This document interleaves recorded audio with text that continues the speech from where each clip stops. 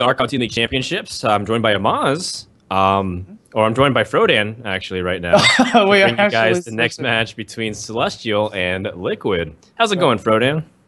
Uh, well, Amaz, it's going all right. I'm just gonna, you know, let the viewers and everybody know what Oh. The The jig's up. change. You're not Frodan.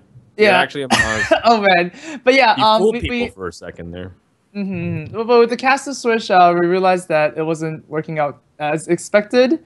There are a little bit too many offenses, I guess, and I'm just gonna sub in for today. Uh, but don't worry, guys. Um, we'll have like oh, we review the caster group once uh, this uh, today is finished, and we'll have you know perfect broadcast next week. I hope. But for now, you get you guys get me. Yeah, we'll, we'll hold a candle vigil after this broadcast. Everyone's Mm. welcome to join us. In the meantime, let's focus on the positive. We have a great match coming up, and it's the first time we'll be seeing Team Celestial versus Team Liquid up on the stream. Now, you might have heard of Team Liquid if you follow a lot of games, whether it's through StarCraft, you know, Team Liquid's also really doing well in Heroes of the Storm and a few other games. But you might not have heard too much of Team Celestial. Uh, can you go ahead and give the background of what you know, Amaz, about this team? I just know that Tiddler is, uh, well, in my opinion, the best player in the world right now. Um, Mhm. I, you know, I saw him play DreamHack. I actually see him play in a lot of events, right? There was the VIA game thing as well, and he just Mhm. plays really, really well. The only time he messes up is uh, when he won the game already, and it was only once in DreamHack. So I think he's actually one of the best, one of the best players, if not the best right now. So that's certainly gonna be the highlight. Uh, for, of that team. Uh, Frozen Ice and Silent Storm. Uh, not much is known about them. I guess Silent Storm played in uh, some ESL tournaments, right? Uh, do you know much about Yep. his playstyle? Yeah, you know, Silent Storm is known to be a really big, um, uh, unusual player. Like he he likes taking decks and making them surprise people. In the ESL land, when he won the Legendary Series Season One, he Mhm. did it with a lineup that was really weird. He was the first to really try to make Demon Lock work. People were like, "Why, why is he playing like Implosions and Mal'Ganis and Mistress of Pain?" that, that's what he was doing. Right. And um, he also brought a lineup with Priest and at the time Mage when no one was playing Mage post GVG, and uh, and he was also playing Shaman at the time a lot of mid range Shaman. So he's a very unconventional player. That's why people really like watching him because his decks are unique. And Frozen Ice is kind of like Taiwan's um, or like you know hyped in a way, like really known for always topping the, the ends of ladder. Uh, played Yeah. like Miracle Rogue and Patron Warrior a lot. Like he's he's kind of like Roger too, who um, just basically like a practice machine. Literally loves grinding it out. So these guys are really fearsome. If you don't know about them now, uh, don't be too mad when they beat your favorite players later, because I think that they come in here as one of the, the teams to probably take one of those offline spots by force. And if you're underestimating them, you won't be for very long. Uh, yeah, but let's not forget about Team Liquid, of course. Savjz has been a veteran since Hearthstone's start, and of course, they recently picked up SjoW, a very strong player. Uh, no, no uh, surprise that he's running the Warrior for their team, and of course, Yeah. Neirea has been um, doing pretty well as well. Uh, still looking for that big tournament win, but maybe it's going to be the Team League Championships. Who knows? Yeah, I kind of imagine the way Team Liquid gathered together and strategized for this was SjoW was like, okay, I'm playing Warrior. Let's take the, The first let's thing ever, The other eight classes, yeah. And so right, yeah. he's like, well, okay, I'll play whatever. And Neirea loves playing his own specialized decks. I'm actually surprised Neirea is not on Warlock, considering that he's been one of the primary innovators for that uh, Ghost Warlock that we've been love seeing so far. Um, but I'm, I'm curious, you know, like the Mage here is an interesting pick too. I really think that Freeze Mage um, is pretty good in this format for sure. But I also feel like other parts of Mage are underrepresented because they're just they're also really strong. It feels like Freeze Mage definitely is the strongest, but um, you, there is room to also surprise an opponent too in this type of format. Yeah, especially with all the patrons running around, Freeze Mage is definitely a much better choice uh, because it's only really weak against Control Warrior. Uh, because you guys mentioned uh, beforehand in this uh, cast that Freeze Mage against Patron, you can just burn him out of like minions, and then they don't have anything else to like really kill you, and it goes to fatigue. So that's something we can definitely see. All right, cool. Well, I think the first game is about to start, but let's get to learn these players a little bit more. We also have another video just to show you a little bit more and get to know these guys better.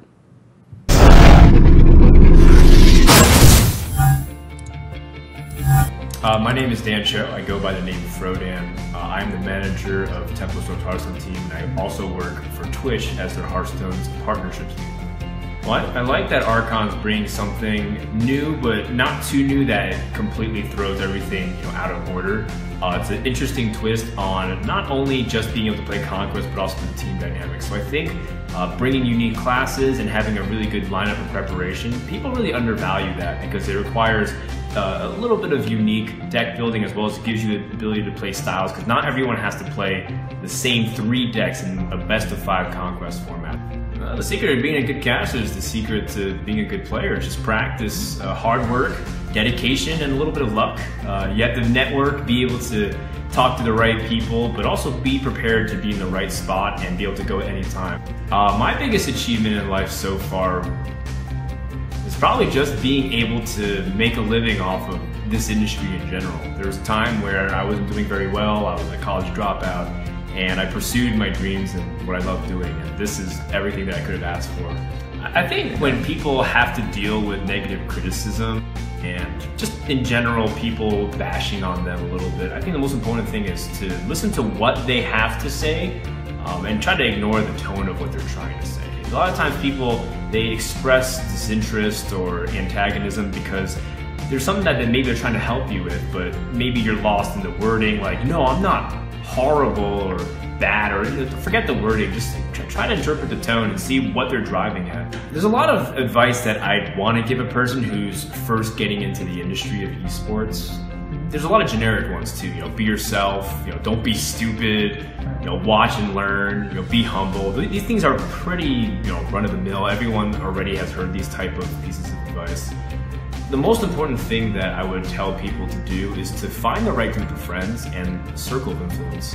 You know, I can't just express enough gratitude towards how well everything's been received. I'm just an average person doing what I love, and I can't believe everyone has been so supportive of everything that I've done. I'm so lucky to be where I am, and I want to just always say that I never take anything for granted. I read all the comments, I try to read all the emails and answer as much as I can.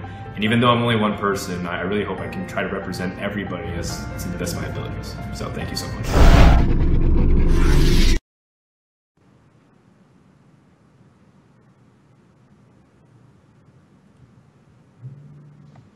All right, so we got to know me a lot better, which is awesome because I'm my favorite subject to talk about. Whoa, so okay. thank you very much, Maz, for that. I like the workout. That was really clip. that was so humiliating. Why'd you show that? Oh Wait, where can God. people find the full workout clip that you did? Uh, um, I I am on actually on a mission to burn every trace of those videos on the internet, but Oh, to no avail, it doesn't work because the internet lives forever. So be careful, kids. I am an example of how not to do things at a young age to try to game fame. Don't do it. It's not worth it. In All the right, meantime, well, guys, we're ready for our first match. Amaz, we're, we're just gonna blow through. it. We have Silent Storm versus Savjz. Um, Silent Storm. Uh, well, I gotta admit, man, he's holding it. He's holding his cards very Yu-Gi-Oh esque style, and Savjz, he's holding a dagger. Um, I'm, I'm guessing because. Rogue is his favorite class. Yeah, Rogue is his favorite class. I mean, Okay. I had that when um, the artist asked me for like you know notes for each player, and I was really surpri- surprised that Savjz is actually using Rogue in this uh, in this series. So that's not really an accurate picture, but still, he won a lot of tournaments with Rogue, right? He won C story with the Malygos Rogue, that was uh, very successful actually at the time. I don't think anybody's playing Malygos Rogue uh, now at all, but we're gonna see a mirror match to start here. Both warlocks. Uh, what do you expect these warlocks to be? Uh, well, I think Savjz would bring Handlock, but he's actually capable of playing anything.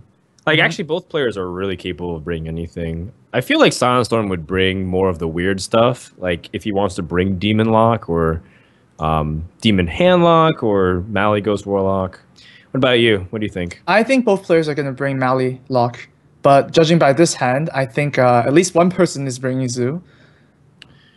Yeah, well, maybe maybe maybe a mid-range zoo because he's got some other things, and there, there are ways to differ across the zoos. Um, Some people top out at Mal'Ganis, some people be really aggressive. We've seen people also go like super aggressive, right? Like Dark Bomb and Soulfire, and Yeah. playing really big burn cards. Uh, it's I personally that like- Savjz chose to keep the whole hand there. Um, I guess you're kind of like um, placing your hedging your bets, I guess, with the abusive. But I feel like the abusive is uh, not really going to be played at turn one now, is it? Mm-hmm. Probably not. I mean, you. The, the good thing about Zoo now is that because the way it ramps up and the way it, you can gain tempo, you don't actually have to have the blistering fast start all the time. There's still ways for you to win, um, even without it. That's nice though. Flame and Bunker. Flame Imp is the best. It's the best top deck actually. And both players are actually playing Zoo. That's uh, I, I did not expect that at all. Um, since Sandstorm did bring that, um, it was the combo lock that he brought at ESL, right? It's not, it wasn't Demon Lock. oh, you actually, I think you might be right. Yeah, it was the What? Arcane I- Golem with the power of overwhelmings and the facelesses. Right, right. I think that it is right, and he was like using Zelay's version, in fact, but like diff, like with his own spin on it. Right. But yeah, yeah, see yeah, you're very- completely right. My, uh, it was like the combo demon. I just remember he played Mistress of Pain. I was like, what? Yeah, so Yeah. I, I, if I can recall that, I think he also had a demon heart, which was really cool too. Yeah, some Um, full cards. But for this one, I guess uh, we'll just have to see if people, uh, if these players are gonna actually hit some big demons of Bane of Doom, right?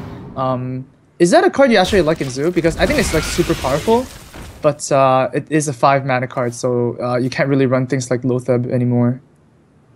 Yeah, it's extremely expensive, but I think it provides a lot of interesting flexibility to Zoo because um, sometimes you need to reach past things and like uh, you know eliminate them, especially if you're playing this type of match where there's a lot of annoying things being tucked away, like the knife jugglers and whatnot. So I think Okay. it's I think it's okay personally. Okay. And it I've can go seen you past use taunts, lot, right? though. Yeah, I've seen you use it a lot though. Yeah, so I, I don't know use necessarily what double comp- copies because I mean, why not summon a Mal'Ganis? I mean, my RNG is good, but Yeah. uh, I've been facing it out uh, lately because it's very expensive. I think. I And with, think uh, I think Bane of Doom is like a perfect card for you, Amaz, because you Oh. you were playing the priest for a while, and everyone was like, you know, hoping like they were wanting to watch your thought steals. That was the big right, thing. right, right. And then you started, you know, realizing priest might not be the best class to bring, so you started gravitating towards other stuff, you know, hunters and handlocks, etc. But like, where was the Amaz flair? And then when Bane of Doom came out, I was and like started getting reworked. I was like, oh, that's definitely an Amaz card for sure. Well, the thing is, like, mm, Thought Steal is better than of Doom for sure because it just like you can pull more legendaries, right? And like of Doom, you kind of need there's Only a one requirement. Yeah, Yeah. well, one legendary. Yeah, sure, okay. So Two is more than one. So um, here Savjz, um, you know, um, is looking like his board is pretty weak actually. So Sunstorm can actually have an option to tap here if he wants to, just to match up on the uh, card size. But no, he's just gonna play everything down and hope for a good Bane of Doom next turn. Yeah, that it's unfortunate that the implosion was so swingy, where it just very clearly dictated that he's not able to do anything um, the pre like on that turn.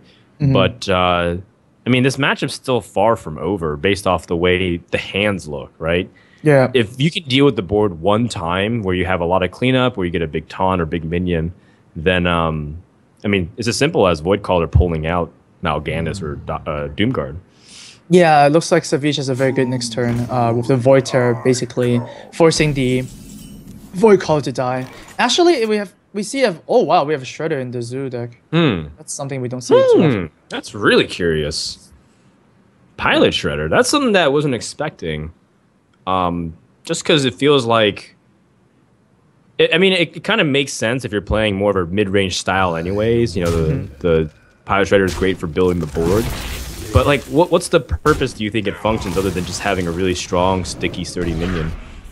Uh, Incavos is pretty good. Uh, but yeah, uh, I think the function is to um, actually defeat more mid-rangey decks, right? I mean, against something like Rogue or something like a Warrior, uh, Shredder is their worst nightmare, so they have to have to kill it twice.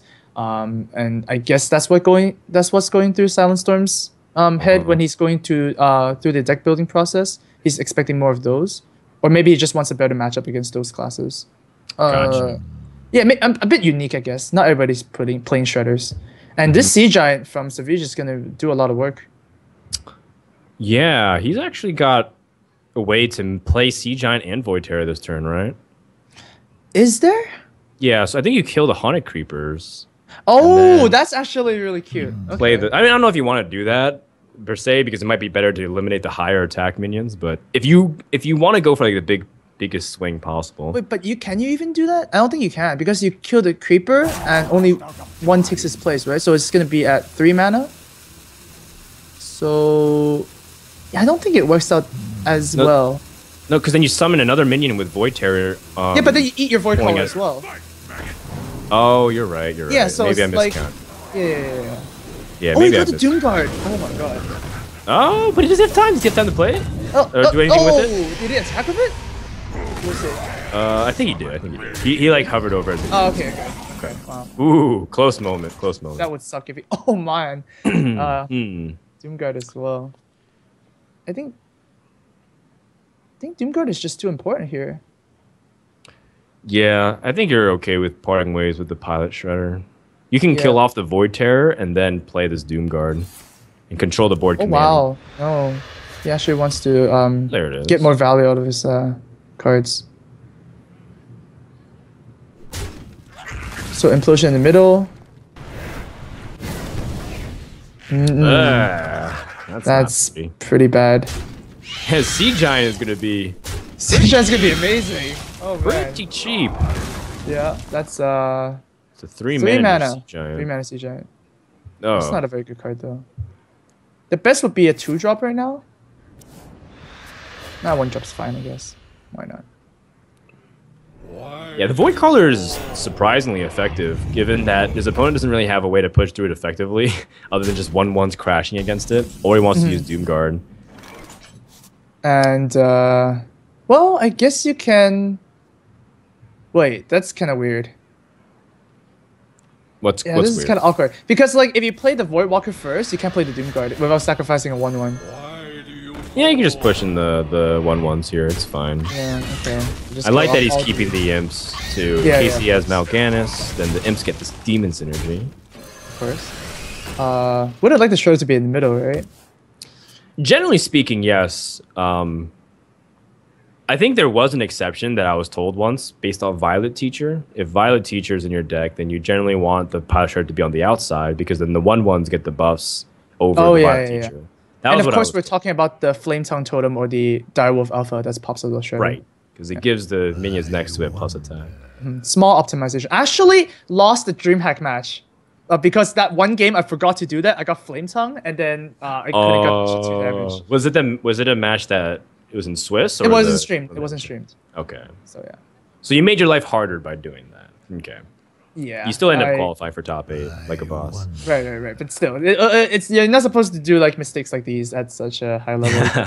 but uh, right now, um, Savjz is looking um, looking like he's in a very troubling spot because the thing is like if he taps right now, um, he's down to eleven. and He's actually dead from Doomguard, so he might actually skip on tapping. But man, He's staring at the world's most valuable world, uh, Void Walker. It's a one Yeah. eight. It absorbed eight damage. Right. But Sa- That's Savjz not tapping means that he's gonna survive one more turn. But if I'm Silent Storm right now, I would just play Doomguard and just go all face. Um, because he can't. If your opponent can't tap anymore, the options are super limited. And of course, you play the uh, Imp Gang Boss first. Yeah, you utilize the eight mana, play the Doomguard. Pilot Shredder still be on the outside. That's true. Guess Well, he's an if- introvert. If the Doomguard is placed on the left. That's true. There's there's still potential. No, Doomguard likes the spotlight. Doom Guard's in. A, a, you know, he likes the attention. He likes being. yeah, Yeah, yeah. Oh, actually gonna um hedge his best one more time. Uh, I guess Soundstorm did lose to double power overwhelming, but it's highly unlikely. So here, I guess if Vij is gonna die anyways, you might as well just tap here. For Argus. Right. Defender of Argus would be great. Yep.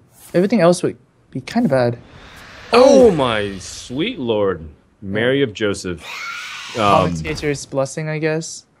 That is crazy. So if he does this though, does he still survive? Because he's working on effectively 13 health, and his opponent will have 13 damage next turn. Well, well, for uh, 15 health because Argus buffs him by one. Right. oh, you're right. You're right. You're right. Yeah. Sorry, I forgot So about. I would. Would you go face with the with the with the giant? I would pretty much go face here. Mhm. There's no reason to clear something if you can't clear them all.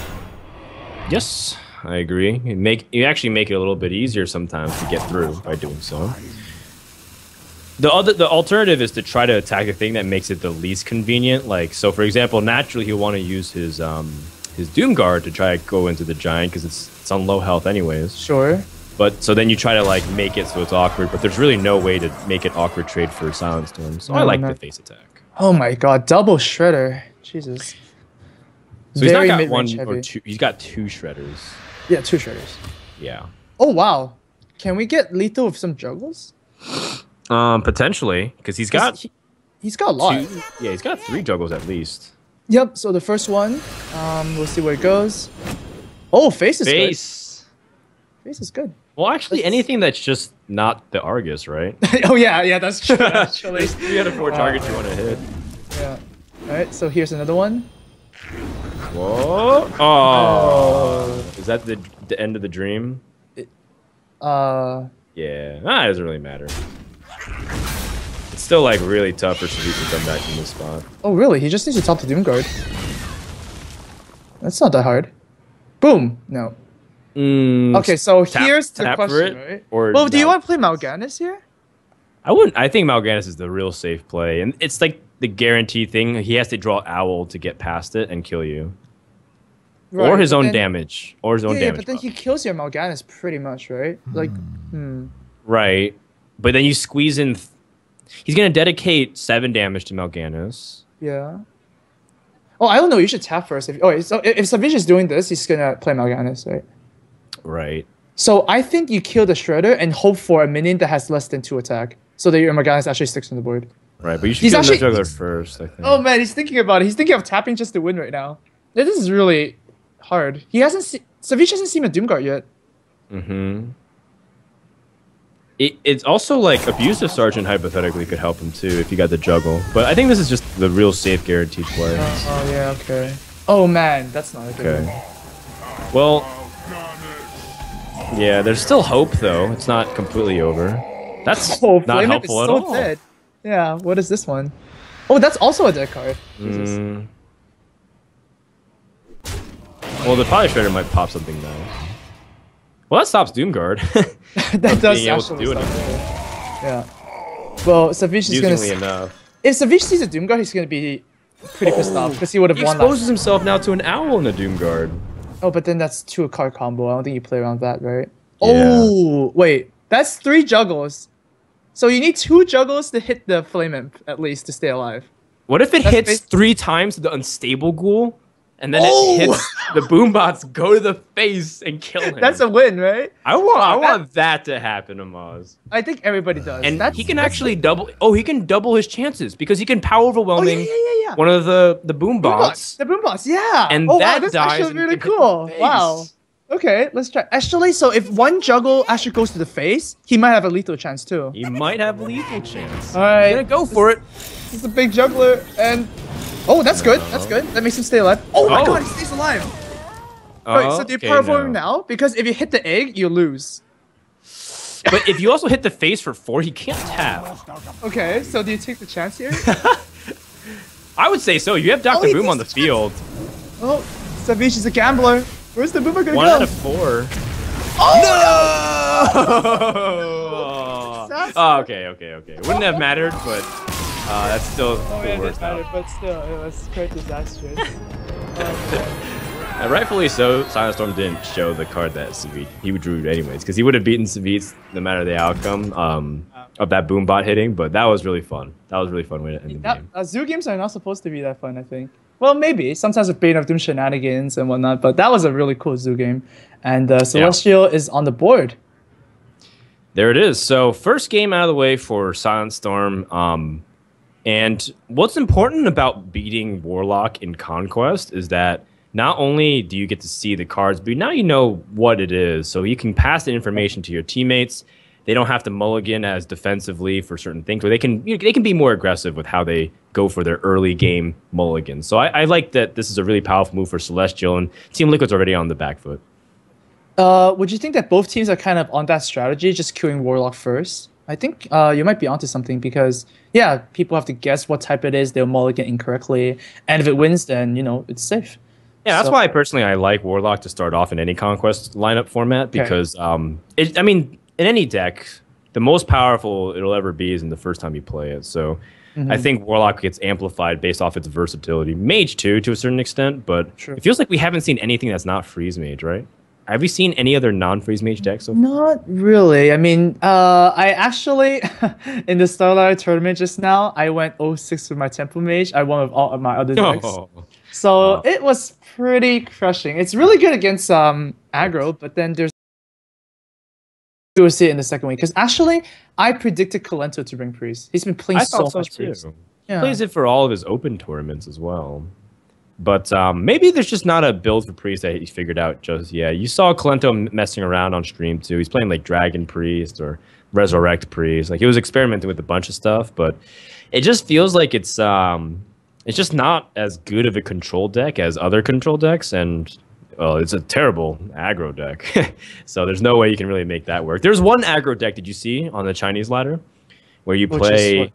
um you play like a bunch of the early game drops like Sure. Northshire clerics and the Death Lords, but you also play like Mind Blasts and Holy Smites, Oh. and um, you also yeah, and then you you you actually have Jeeves, and that's the highest cost card in your Oh, entire deck. jeez, Jesus. Okay. Uh, not that. Yeah, uh, but actually showed really me uh freeze priest deck that has like Velen and double mind blast as the finisher, but you kind of have to draw Emperor, right? Um, he says the win rate is actually over fifty percent to people who don't know what they what it is, and um, if people know what your deck is, then it's under fifty percent. So Well, the interesting thing about this Priest deck is that I think it hit top ten legend in China.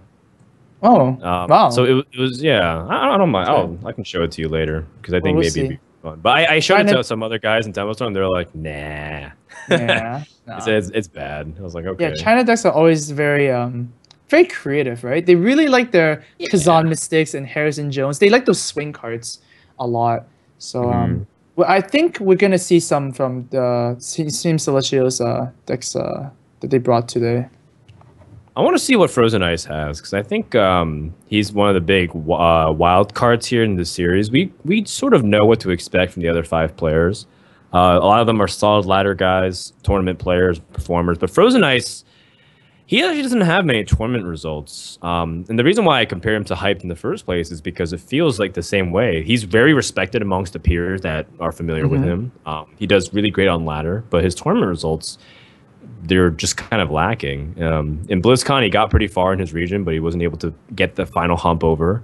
And a lot of the tournaments he enters in Taiwan, um, it's usually like Tom, Tom six hundred two two nine, or Roger are the Taiwanese Mhm. players that people pay attention to, and they don't really know Frozen Ice.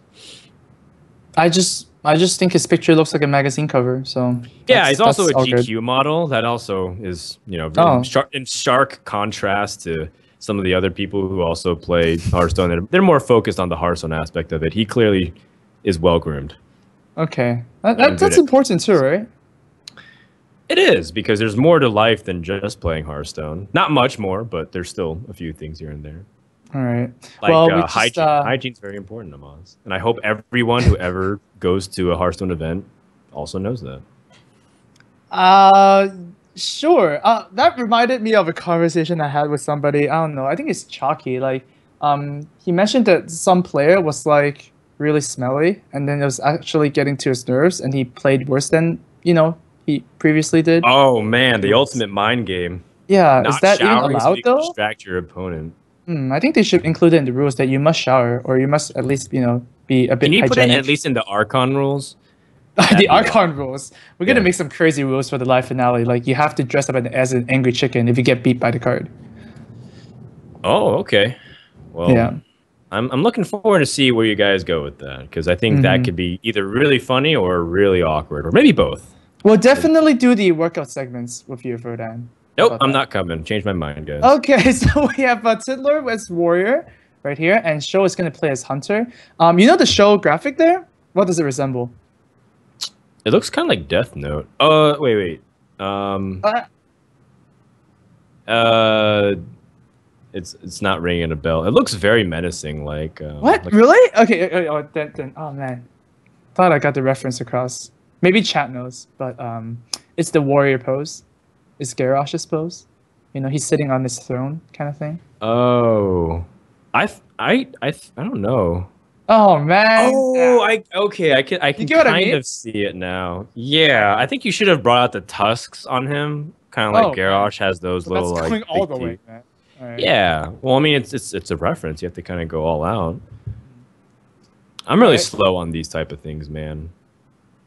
I don't get sarcasm very easily on. I mean, the. Kolento is a pirate. You, uh, I don't think you. See, that was very literal, right? I like that. okay. But this is this is just looking like, you know, I I stole his tuna sandwich for lunch or something. He's looking at me pretty angrily. Okay.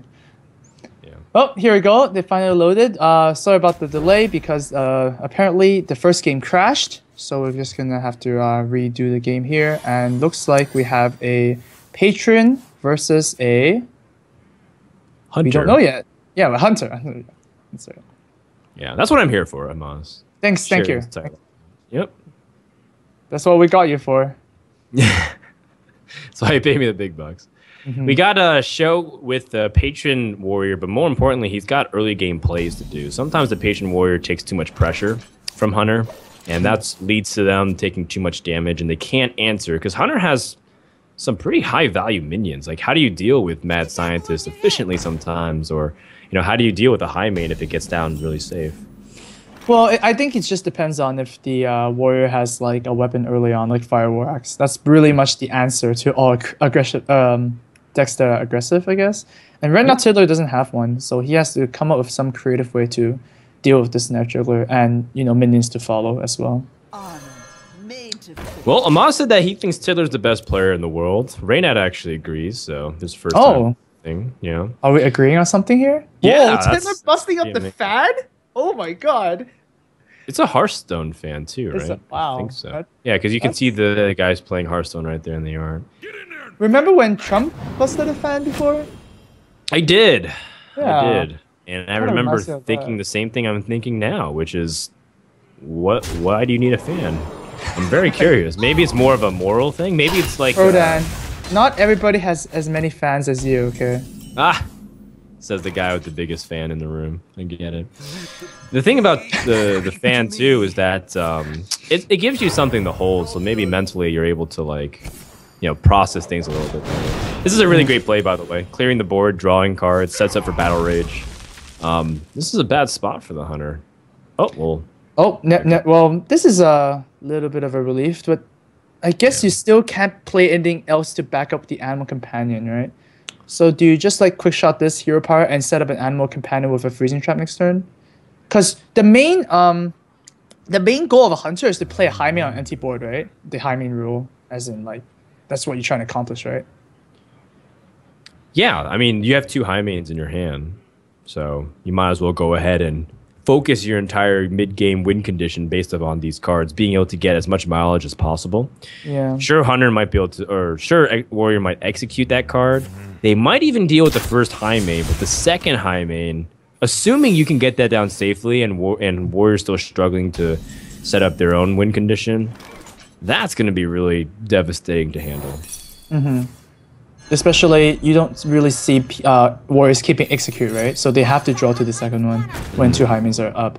Uh, SjoW is gonna freeze the um, freeze Tiddler's uh, uh, acolyte to prevent more draw, and oh man, that's a pretty good card. I'll show them. See, if, if he actually quick shot the acolyte and set up a freezing trap, um, he would have a very nice board uh, this turn with the trap up and the two minions, and then the Savannah Highmane comes down the board.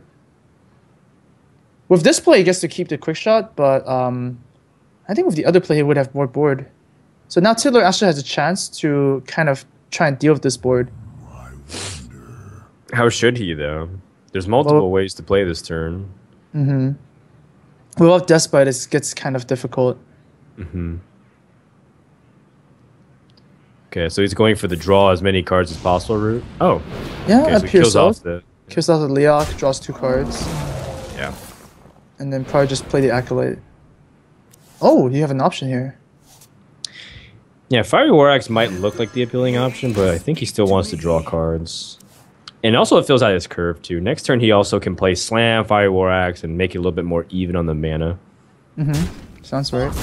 Uh, I expect this to be another freezing because the Wolf Rider just appeared on your hand, and the only way a Wolf Rider appears in a Savannah Highmane deck is if it's hybrid, right? And hybrids only run two traps, and those are both freezings.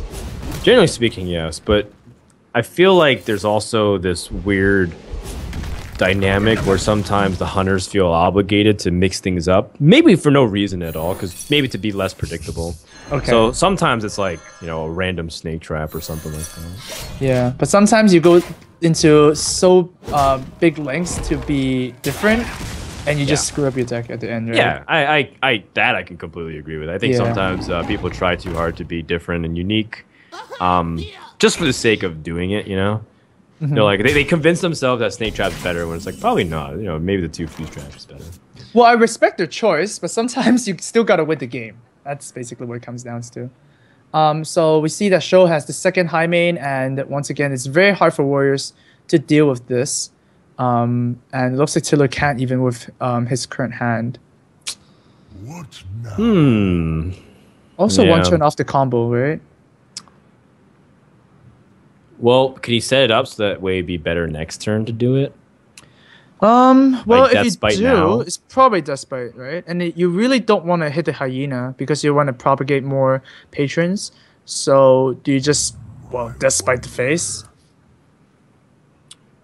I suppose so. You have to get to a second charge somehow. Yeah. Despite one setup for to- sure. Mm, it does set up to kill the um the Highmane as well, but you'll be taking another six damage from the ten you're gonna take this next turn, and it just looks really really tough in this situation. Tiddler is gonna hit the face here just so the execute can do work next game. Um, next game, Jesus, next turn. That's right. He's gonna execute him so hard it'll kill him next game. It'll show that hyena who's boss. Oh wow, uh, this might be lethal actually if he gets the right animal companion here. Oh, that's that's a good oh, one too. Still a lot It- of damage. Sixteen. it's the exact same damage as a Huffer. Uh, oh my gosh. That's Oh, four man. damage off the Wolf Rider, so it's just That- as good as Huffer. Yeah, that is a lot of pressure. Oh my god. All right, well, it was a nice try, Tiddler. Um, I don't think he's gonna be able to do Oh whoa whoa whoa! Wait a minute here. Oh no. He doesn't have like twelve mana. Yeah, I hate it when that happens. You just don't have 12 mana. Keep in mind the Leper Gnome's also two damage too off the Yeah. off the Death Rattle. So even if you can get like a lot of life through the Armorsmith, there's Mm-hmm. still a lot of damage coming in next turn with the Leper Gnome guaranteed. Whatever comes out of the Highmane, the quick shot and the hero power.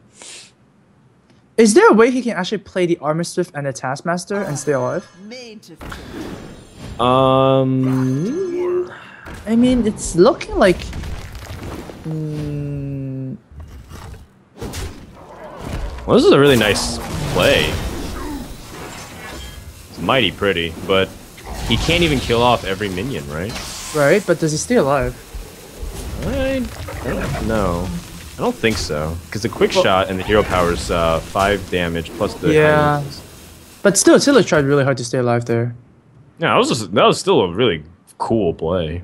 Mm-hmm. It's almost like, you know, shows like, hmm, that's a mighty fine play. It'd be a shame if I had the quick shot in my hand. Oh, look at that, I do. Wow. Okay. So he, uh, I guess Tiddler was really, really dead. But um, yeah, Team Liquid um, gets a one point on the score as well, and uh, shows Hunters through. Yep. And again, being able to identify what deck it is and being able to pass off the information, very useful for Liquid. But the series is just getting started. If there's anything we've learned in Best of 11s, that plenty of room for comebacks. And that's kind of like the purpose of it, right? The Best of 11 gives the ability for um, some of the variants to be controlled. You can't always control all of it, but you have more opportunities to demonstrate over a lot of games. If you play as one team, you can kind of go off of that result. Because 6 3 is pretty convincing over, you know, 11 games compared to like a 3 2. Because I feel like when I watch best of fives, I just look at the scores and it's 3 2s all the time. I'm like, wow, that really could have gone either way. Yeah. Uh, with the team format as well, um, you winning two games is good and all, right? I mean, obviously you want yourself to, to win two games, but sometimes that's not enough. So you kind of want to, um, well, at least the motivation is that you can practice with your teammates a lot, and you're only as good as your worst player on the team. So you might as well all be good, um, you know, at this format. So that's kind of what we're trying to bring here with this uh, new team conquest format. Okay. Well, so far so good. Uh, we have eight weeks of this, and uh, I think where I think the cool thing will be when we see other teams match up against others, because um, unfortunately, most tournaments people get eliminated pretty early, and you don't really get to see a full fleshing out of stuff. But every team is guaranteed to play at least every other team once. Yeah, pretty much. Um, every team has enough ch- uh, opportunities and chances to show off their skills, and the uh, team that goes in eighth place, well, you can't make a lot of excuses. You get what I mean? Uh, because you did lose like a lot of games to be in that place. We're not like Yeah. forcing you to like play every single deck that you're not good at. Uh, you just need to like adapt around your teammates and you know figure out a good game plan going into this. Yeah, you lost 48 games to get to that spot. No, no, 56 games. Yeah, yeah. No, no, no, no, no. something like 42, 42. Sorry, math is math is really hard for me right now. Yeah. The other day in stream, I did six plus five equals thirteen, and I actually sat there for like two minutes figuring out why I didn't have lethal. It's the weirdest thing ever. Streamer life, man. Not not as Yeah, tough as the thug life, but pretty close. Like counting is actually really hard. I don't think a lot of people actually get like because I studied math in university, right? It's nothing like the sort. Um, you know, you have all these formulas and whatnot, everything just goes well. But when you do like basic arithmetic in a in a card game, it's really difficult because all, a lot of things can happen, and even during your turn, weird things can happen, like boom bots actually messing up your number count and whatnot. Knife juggler, you know, doing some weird stuff. So I think it's hard. All right. Well, uh, I'm not. I'm not gonna. I'm not gonna deny you there. It can be really difficult, especially Mm-hmm. if you have a lot of numbers going through your head. But it's not difficult too much for these guys. I think uh, they're going to be able to focus pretty well. Um, one person that I think people will also be surprised about is Neirea from Team Liquid. I think he's a very underrated player. Most people don't really know too much about him. Um, if you don't follow his stream or you haven't really followed some of his tournament results, they might even be surprised to hear that he's on Team Liquid because he's relatively quiet. But if you look at the ladders and you look at him, people hyped him up for a long time to be maybe the second coming of Kolento. Um, not to mention they have the Ukrainian connection. Okay. And I think he hasn't lived up to that expectation, but he's certainly carved out to be his own individual, unique person. So I hope Neirea does well. Yeah, uh, today. Hearthstone does need more mellow people, you know. I think Mellow people? mellow, yeah. I mean, you don't have to be like, you know, um, all big and out there, I guess. So I, I, I like Neirea. Neirea is cool. I actually Okay. met him for the first time in uh, DreamHack, and um, yeah, he was a really cool guy.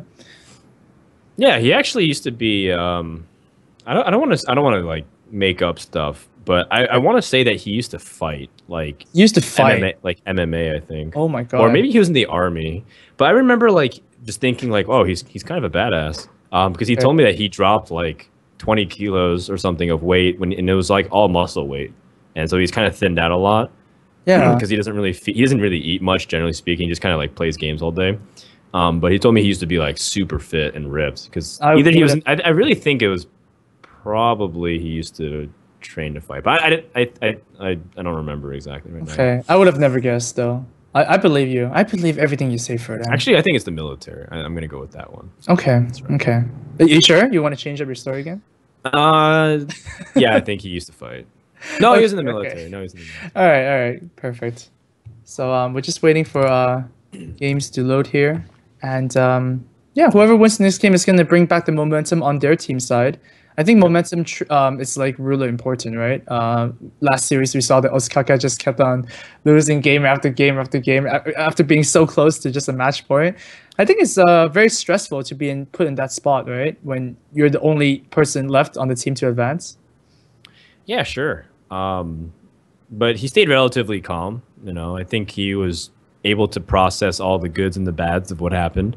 Uh, Druid is not ex- exactly the strongest class, but it's for conquest when you have so many chances. It's it's actually one of the best decks in terms of being able to handle the pressure of uh, winning a game out of six. All right, so we have Frozen Ice versus Neirea. This is Hunter versus Mage. Um, I guess you guys didn't really have much ideas on these guys for art. Well, I no for the art. I gave my artist a list of things, and uh, he can use them if they if he wants, and he doesn't have to use them all, and he can come up with his own stuff. So uh, this is what we came up with, and um, I think it's pretty cool. I think Frozen Ice has a very pastel-y look to his art. Well, it's very accurate to how he actually looks. And Neirea, it it kind of looks like him. I would say that that type of art would belong in our animated series. It's like okay, Oh, right. Now that you tell me, maybe I can kind of see. All right. it. Would you would you want the connection? Maybe you can like work something out afterwards. Uh, I think we're set. I think we're set. Okay, we're good. We're We're, good. we're, we're, we're waiting for like you know the next six months to release our second episode. Oh wow, six months. We had to wait that long. Damn. it's just an exaggeration because Okay, okay. everything. Well, All things considered, I think um, if this is Freeze Mage, I think Frozen Ice has a generally a pretty good time. But if it's Face Mm-hmm. Hunter, I think Face Hunter still struggles against the Freeze Mage, considering that you can't really push heavy amounts of damage in the mid game without going through Ice Barrier. Versus the the mid range Hunter has like a lot of explosive power that um, can really push the Freeze Mage to the limits. Now, I'm not sure if it's Freeze Mage though. Be- Yeah. Yeah, now that we talk about more about it, I just think Freeze Mage is so powerful, right? Think the most powerful decks in Hearthstone are the decks that usually do really, really well, or the decks that just kill themselves, right? We see patrons usually like just kill themselves if they don't draw a weapon, they don't draw a cycle, and freeze mages just kill themselves when they draw every secret. And yesterday we have a broadcast where Dog actually um, drew a secret off the acolyte, and then the scientist died, and then he, the scientist got nothing, which was very unfortunate. So, Followed by drawing his his last scientist when there's no other secrets to be. oh man, that's even it was like the worst wound. three sequence of plays slash draws that could have happened. Mm-hmm.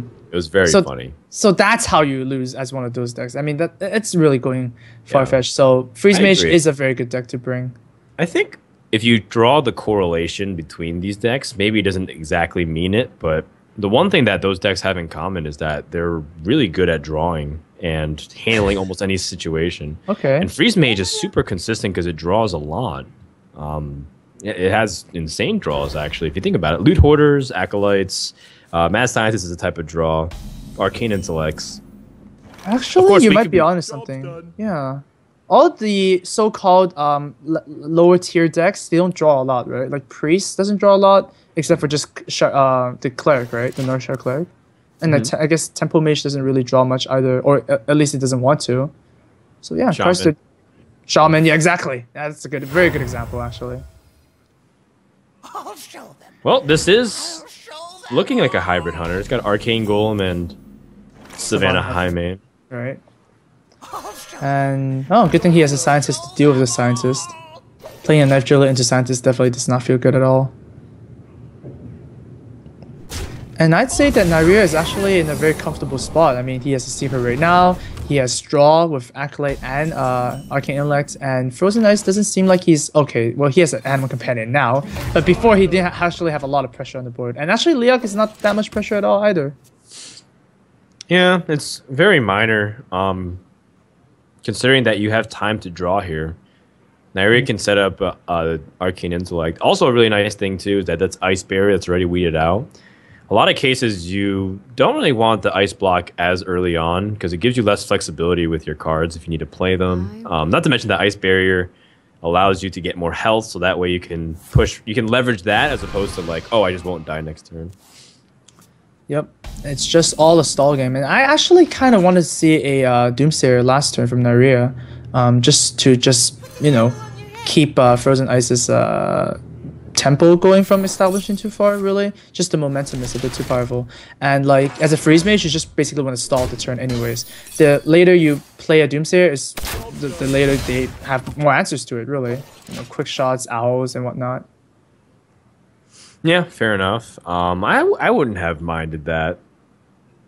I Well, do like, if you drawing played cards. Doomsayer last turn, you could have played Acolyte, and then your next turn could be ping the Acolyte and Arcane Intellect. So you could still have filled your curve. So like at this turn, like what do you do here?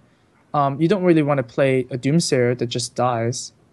What to do? Yeah, you can also consider fireballing Leokk or Oh, just playing Acolyte to draw cards. And like the thing is, he'll probably want to attack into the Acolyte somehow, and it gains life and draws a card. Uh, but generally speaking, I, I now that we've seen everything play out the way it has, I think you're absolutely right, Amaz. I think the Doomsayer last turn might have been better. Yeah.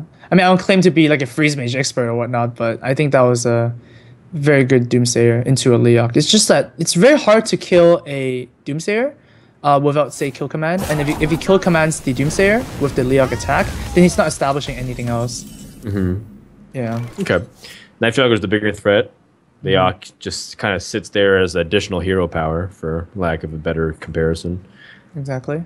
And here you don't want to play Arcane Golem too fast. You don't want the Freeze Mage to get more mana, obviously. So um, go and go ahead and hit it. Oh, he might. He's considering keeping the charge. Okay, yeah, I, I did like attacking more because like, what if you draw another bow? You, you really need to use the first bow up quicker. All right. Well, the Emperor Thaurissan with a hand like this is that good at all? I mean, generally Emperor is just high value, but are these the cards you kind of want to reduce, or would you rather have other things? I think Emperor is actually a pretty good card in this uh in this matchup because the hunter is kind of pressured into killing it, and if they don't kill it, it activates again. So Mhm. I think it's fine. Now uh, Neirea finally plays the Doomsayer on the on this kind of board, right, which is perfect. Uh, once again, it's very hard for uh, for Frozen Ice to deal with, so he can't just play Savannah Highmane and ignore this Doomsayer, and disrupts his turn really well. But what's the best way of clearing this? Uh,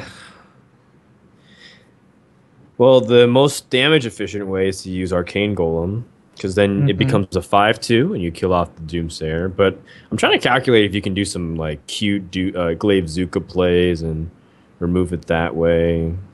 Yeah, but Uh, Yeah. I don't think so. no, I don't think so either. Seems Yep. like it's Arcane Golem time.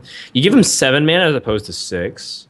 Uh, uh, that makes it Flame Strike range, but nothing else really comes at seven mana. I guess Antonidas, but the most important thing is protecting this board here. Oh wow, playing the Unleash as well, just to put the extra creature on the board.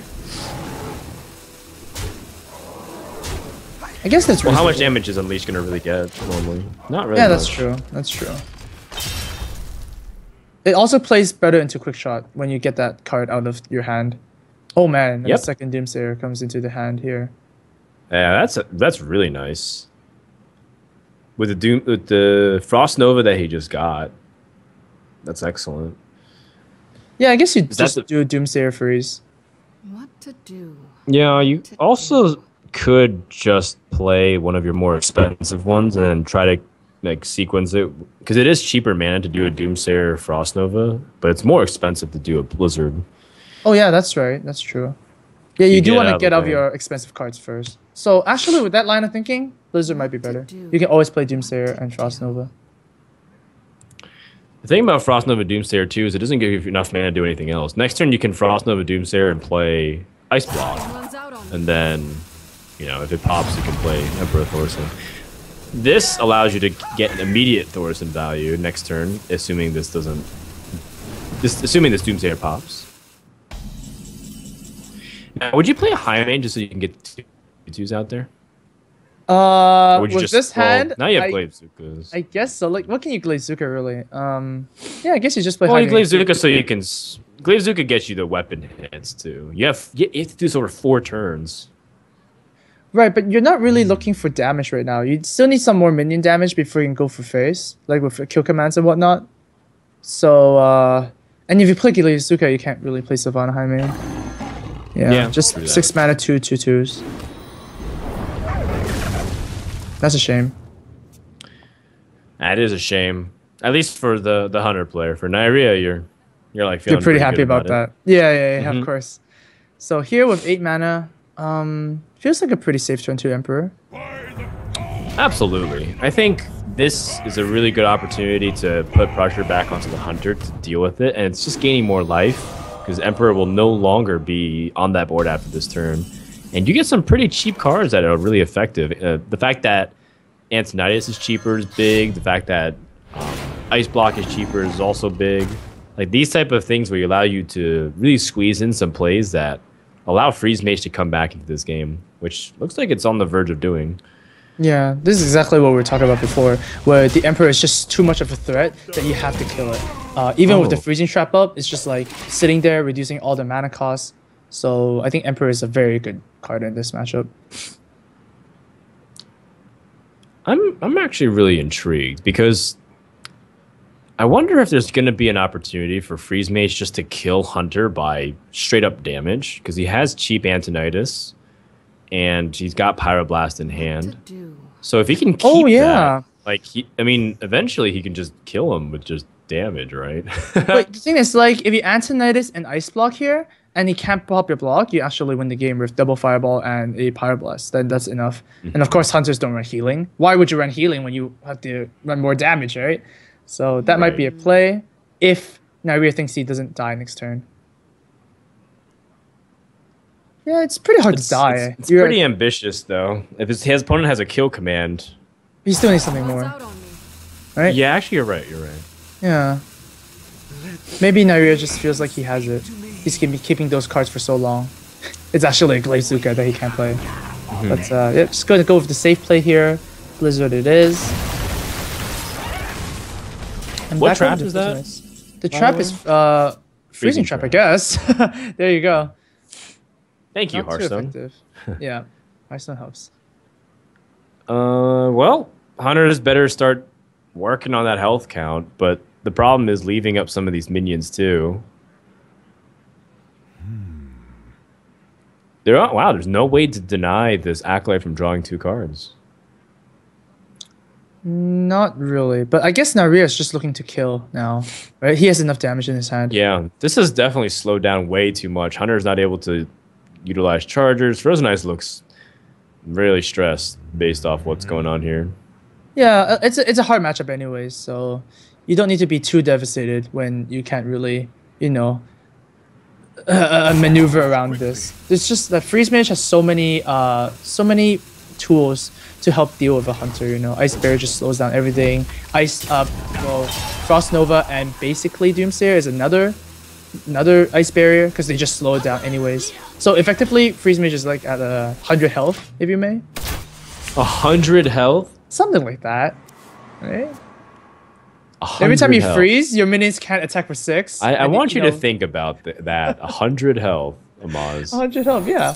Like, mm, you freeze your opponent for 10 turns, and each turn is freezing for 6 damage at least, right? So that's 100, I think. Did we establish We'll, establish we'll round that we're up. bad We'll at round math? to the nearest hundred and say you're right. We established that we're bad at math, so I think that's perfectly justifiable. I think we've also established that Hunter's screwed. I don't think you can really do much. Um, you can even get away with playing Ice Block and Ice Lancing the Highmane, right? Oh, you can do whatever you want. I think uh, Ice Block and Ice Lance would be the safest. But uh, no, Neirea just wants to go in there. Well, Fireball puts him down to 16, and assuming he doesn't have a second freezing trap, you can lethal him next turn. Ice Block is the safest because you set up a way to not die, and then you freeze the Highmane. Right, freezing the Highmane seems pretty good. And now, I guess Neirea only dies to something like a Flare Kezan Mystic, something weird like that.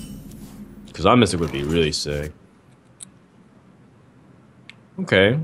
Um, five, I guess you play everything. seven, nine, 11, 12 Yeah. damage. 12 maximum damage this turn.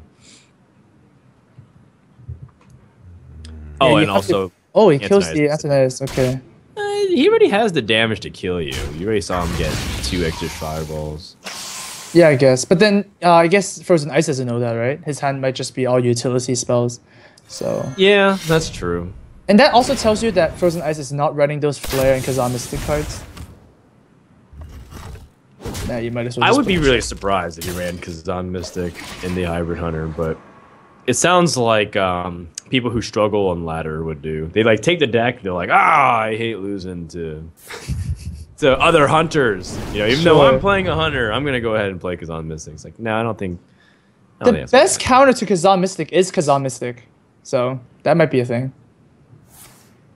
Yeah, I guess so. That's a really good point. Mm-hmm. All right, so uh, this is gonna wrap up the game. Um, unless Loatheb comes and stalls for one more turn. Loatheb's also a possibility. No, that's not Lothar. but uh, as really far from Loatheb.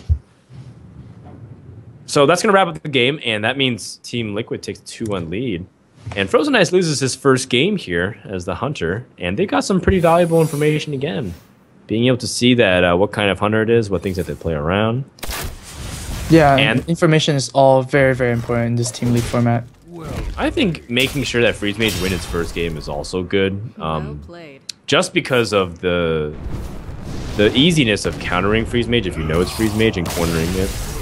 But generally speaking, there's very few matchups that can corner freeze mage the way like Druid and, Control Warrior can. So well done, Team Liquid. They're up two one, but we still got a long way to finish this best of 11 Mm-hmm. So pick up your heads, all fans of Team Celestial.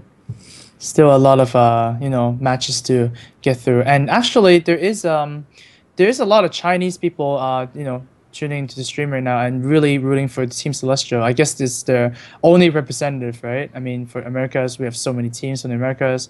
We also have a couple of uh, EU teams, right? I mean, I guess Liquid is kind of based in EU. Uh, Tempo Storm, in a sense, kind of, right, with Gara, but mostly American, I guess. It's yeah, a primarily American team. Gars are only. European, I think. Right, and Nihilum, of course, is also uh, an EU-based team. So the only team that the Chinese people can root for is Team Celestial. So they got a pretty big Oh. following. They can root for Eloise. She's also Chinese. That's true. That's true. Yeah. Playing all sides there, right, Tempo Storm? Yeah, you know, we're all things to all people. That's that's Mhm. that's not our intent, but that's what ended up happening. That's good. Um, so I think looking at uh, the lineups there, I'm still really intrigued by the shaman from um, Silent Storm. I'm not sure what he what he's exactly planning. I know a few players have really picked up some interest with mid-range shaman. You know, Hawkeye doing well with it in DreamHack has really invigorated some people to maybe look at the class again and see if they can bring it in. And if you're bringing six out of nine classes, I mean, that's almost you know no reason not to bring one of the underplayed classes and see if you can surprise people a little bit.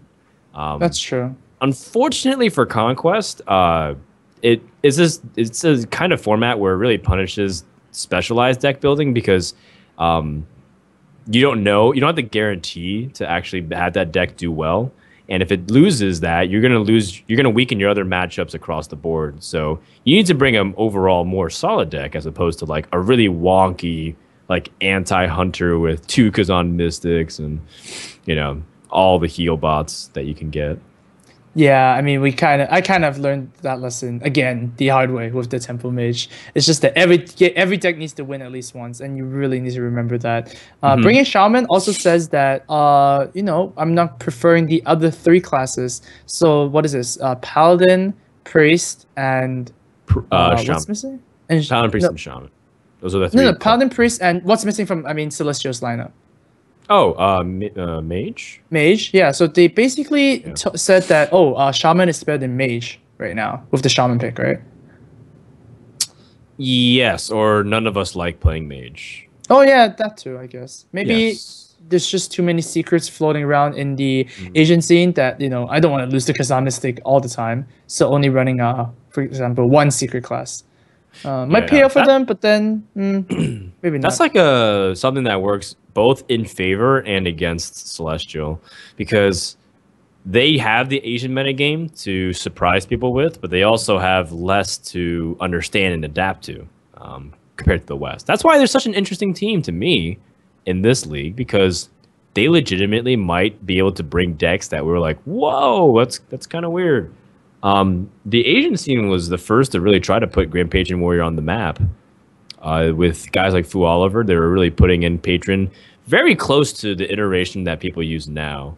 And that was like a week after release. So I think people really underestimate the Chinese region if they don't really watch much of their streams or their, their tournaments. In terms of their deck building, they really try to get creative. Um, the problem with the Chinese deck building is that they're very creative, but oftentimes they're not refined and optimized. So I'm, I, I don't know if they're going to bring anything really unique and different here. Um, Probably not, but I'm leaning towards them to still be the ones to surprise the rest of the people here. Yeah, I think they're the ones to do it too. And with the creativeness, you need to kind of uh, have a good balance. Uh, after you have a creative deck, you need to kind of refine it. So you're gonna have to play a lot uh, before jumping on. Oh, I want to play something else now. You know, I want to find out the next big thing. So uh, yeah, it's that that that does make sense to me. Creativeness, yeah, I like that. Um, The the fact that Frozen Ice is going to queue up here again with the Hunter. Oh, looks like a. I have to requeue here. Um, the fact that he's going to queue up again here means that if he loses, he's going to get benched. Oh man, being benched being is such benched- a big setback. Yeah, it's a really big disadvantage considering that you then you can shut out those two classes from the selection screen and you can corner some decks. Yeah, but also with the bench rule, uh, what's cool is you can safely assume that the other team is not going to queue the same person twice, and with that knowledge, kind of assumption, um, you can kind of eliminate some deck choices already. So sometimes Yeah. queuing twice gives you an extra advantage. Wait, wait, wait. Really? Do, Do do you do you get what I mean? Wait, wait. So you're saying that if you assume teams are going to play it safe and not queue up twice, you can also You can also That's, eliminate that's, it. So that's for really like second level mind games, and the third level is Yeah. anticipating that and then doing nothing, and then the fourth Right. level is reading that and doing something. oh man, lots of uh, you get you get, levels. what- you get what I'm saying, man. Yeah, And yeah, I Eventually, get you realize, oh, I'm just confusing myself. Screw Okay, it. but yeah, it's always that cycle, right? But the motivation for the bench rule is for not one person to just show up in the tournament and just lose six games without any other player having a chance to at least play a game. So with the bench rule in place, everybody will at least play one game. So uh, you don't show up and do nothing. That sucks if you show up and do nothing. Well, Mm-hmm. uh, we'll see if that ends up being the case. Um, Neirea is gonna go ahead and queue up again too. So we have Rogue versus Hunter. And I always get a lot of divisive opinions about this, primarily from your teammate, actually, Amaz. Oh, Um, who? every time I always talk about Hunter versus Rogue, Right? Firebat always tells me how much he thinks Rogue is fine in this matchup. But I talk about this with other players. Everyone thinks the Hunter is really good against the Rogue. So what Wait, do uh, you, you mean you mean generally or against a certain? No, deck? against like a ag- more aggressive. Yeah, yeah, aggressive version, right? I think aggro hunter or face hunter is uh, way the favorite against the rogue because the rogue needs those specific specific cards to counter that, like Violet Teacher and preparation and stuff like that. Maybe in the Fan of Knives, and if they actually don't find them, they're pretty real. They're just dead. All the aggression, uh, all the minions that they can't remove, or they remove with the face. You know, taking double damage from a wolf rider is pretty much dead. You're pretty much dead at that point. So I think it's a it's a uh, it's a hunter favorite. Okay. Well, slow start again outside this abusive sergeant. It is still two damage Mm-hmm. if the rogue ends up using the hero power to eliminate it. And most importantly, I think you're gonna be you're gonna be aiming for the coin shredder plays on turns three and four, right? That's that's pretty much the the money spot you're gonna try to find with this deck or this hand. Yeah, pretty much. Uh, the bow is really, really strong though. It does clear three threes.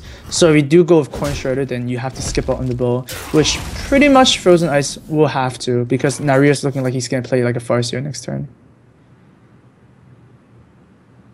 Yeah, looking like oh well he also did pick up the arcane golem. That is double three drops. But that is the most awkward double three drops I've ever seen. Yeah, giving mana to rogue is not what you necessarily want to do. You give it opportunity to play bigger tempo um, swings. So I think that's definitely the right call here. Hero power. So here's the hard decision: Do you bow or do you Shredder? Because if you Shredder, you get uh you get punished by sap too much, and if you bow, you don't establish anything. Yeah, Violet Teacher prep sap. It is the way you well, you're, you're basically making the game much more difficult than you had to. And Violet Teacher off the top is excellent. Yeah. Check that out. Violet Teacher is the card that you want against hunters. So good against so many cards. Like exactly the freezing trap, right? If you want to freezing trap a one-one, uh, that's really really bad. So I'm gonna try and avoid that. So I think uh, Neirea is actually ahead in this match. Yep. the hunter started too slow. The, the whole purpose of hybrid hunter is that you're supposed to ha- you're supposed to retain the aggressiveness of the uh, face hunter while being able to maintain other opportunities to board control like the hybrid and push into the mid and late stages of the game. And unfortunately, he hasn't gotten that uh, early aggression. In fact, he's really on the defensive foot here. Yep. Just gotta clear those minions. A Highmane might help, but once again, you always fear the sap. Six mana doing nothing is not really good turn. So here, maybe a uh, mixture of.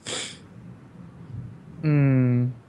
I mean, Unleash the Hounds does clear the board, but do you like that at all? No, I don't like it because it's too reactive. You don't get to develop much else outside of that three mana. You lose Okay. almost everything uh, except the pilot shredder. Yeah, I guess you can actually hit with the bow first on the Violet Teacher, use Unleash, and then hope the Glaivezooka can buff one of the hounds. So you're left with one hound and whatever shredder pops out. Oh, oh, I see. Yeah, because the thing with rogues is that if they have a minion on the board, they become so dangerous. But if you keep on clearing their minions, they can't like oil their minion and burst you down for a lot. And Yeah. usually that's a game plan against rogues, anyways, right? Warrior against rogue, you want to axe every single one of the creatures. Not going with the freezing trap instead. Oh, it's gonna try and freeze the uh, the Drake here. This stealth guy is pretty nice, actually. Okay. Yeah, given Stalker makes it invulnerable against backstabs. Um, SI7 agents. Yeah. This has been a game of top decks. Like every time we mention the card, it just pops out, Yeah. which is Uh, good. Well, then right? what does Because Hunter want We kind of next? know what we're talking about. Well, it's like you you always you always can talk about these hypotheticals, like this is what they might be playing around, and then when they actually draw, it's like, oh, well, it works out to be the right play and or the right scenario in that case. Yeah. Because the players don't know the cards, and we kind of want to put ourselves into their positions. You don't mind tossing back cards like Healbot Loatheb, so you can take your time camping this freezing trap. I think, right? Yeah, definitely. I mean, well, get, getting back an anti kill bot, that's huge. And there's a way to deal with this Highmane rather effortlessly because of the Blade Flurry spell power and the backstab spell power with SI7 agent. Um, in fact, if this Cable and Stalker attacks face, that's a full board clear. Although the hey, yeah, it's a full board clear, and you don't even have to pop the freezing trap. No, not really. But I think f- what Frozen Ice is thinking about is once again the rogue minion thing, right? He kind of wants to kill the little type here. That's what I think. Yeah, Maybe even killing the Azuric. Oh man, the spell tough. power is really threatening because now eviscerate fan of knives you know that that gives that kills off the the Highmane well, he needs to choose something fast. The rope is burning out. the thing about either of these five drops getting bounced back they can also just be replayed immediately Yep, and it seems like that uh, he agrees that the spell power might be a bit too dangerous here. Another heal for Neirea. He is looking really, really nice here. yeah prep sprint gives him so many options here Yep, For, sap is uh, what he's looking remaining for. Mana. Just, just get the sap. Mm, No, Mm. not quite.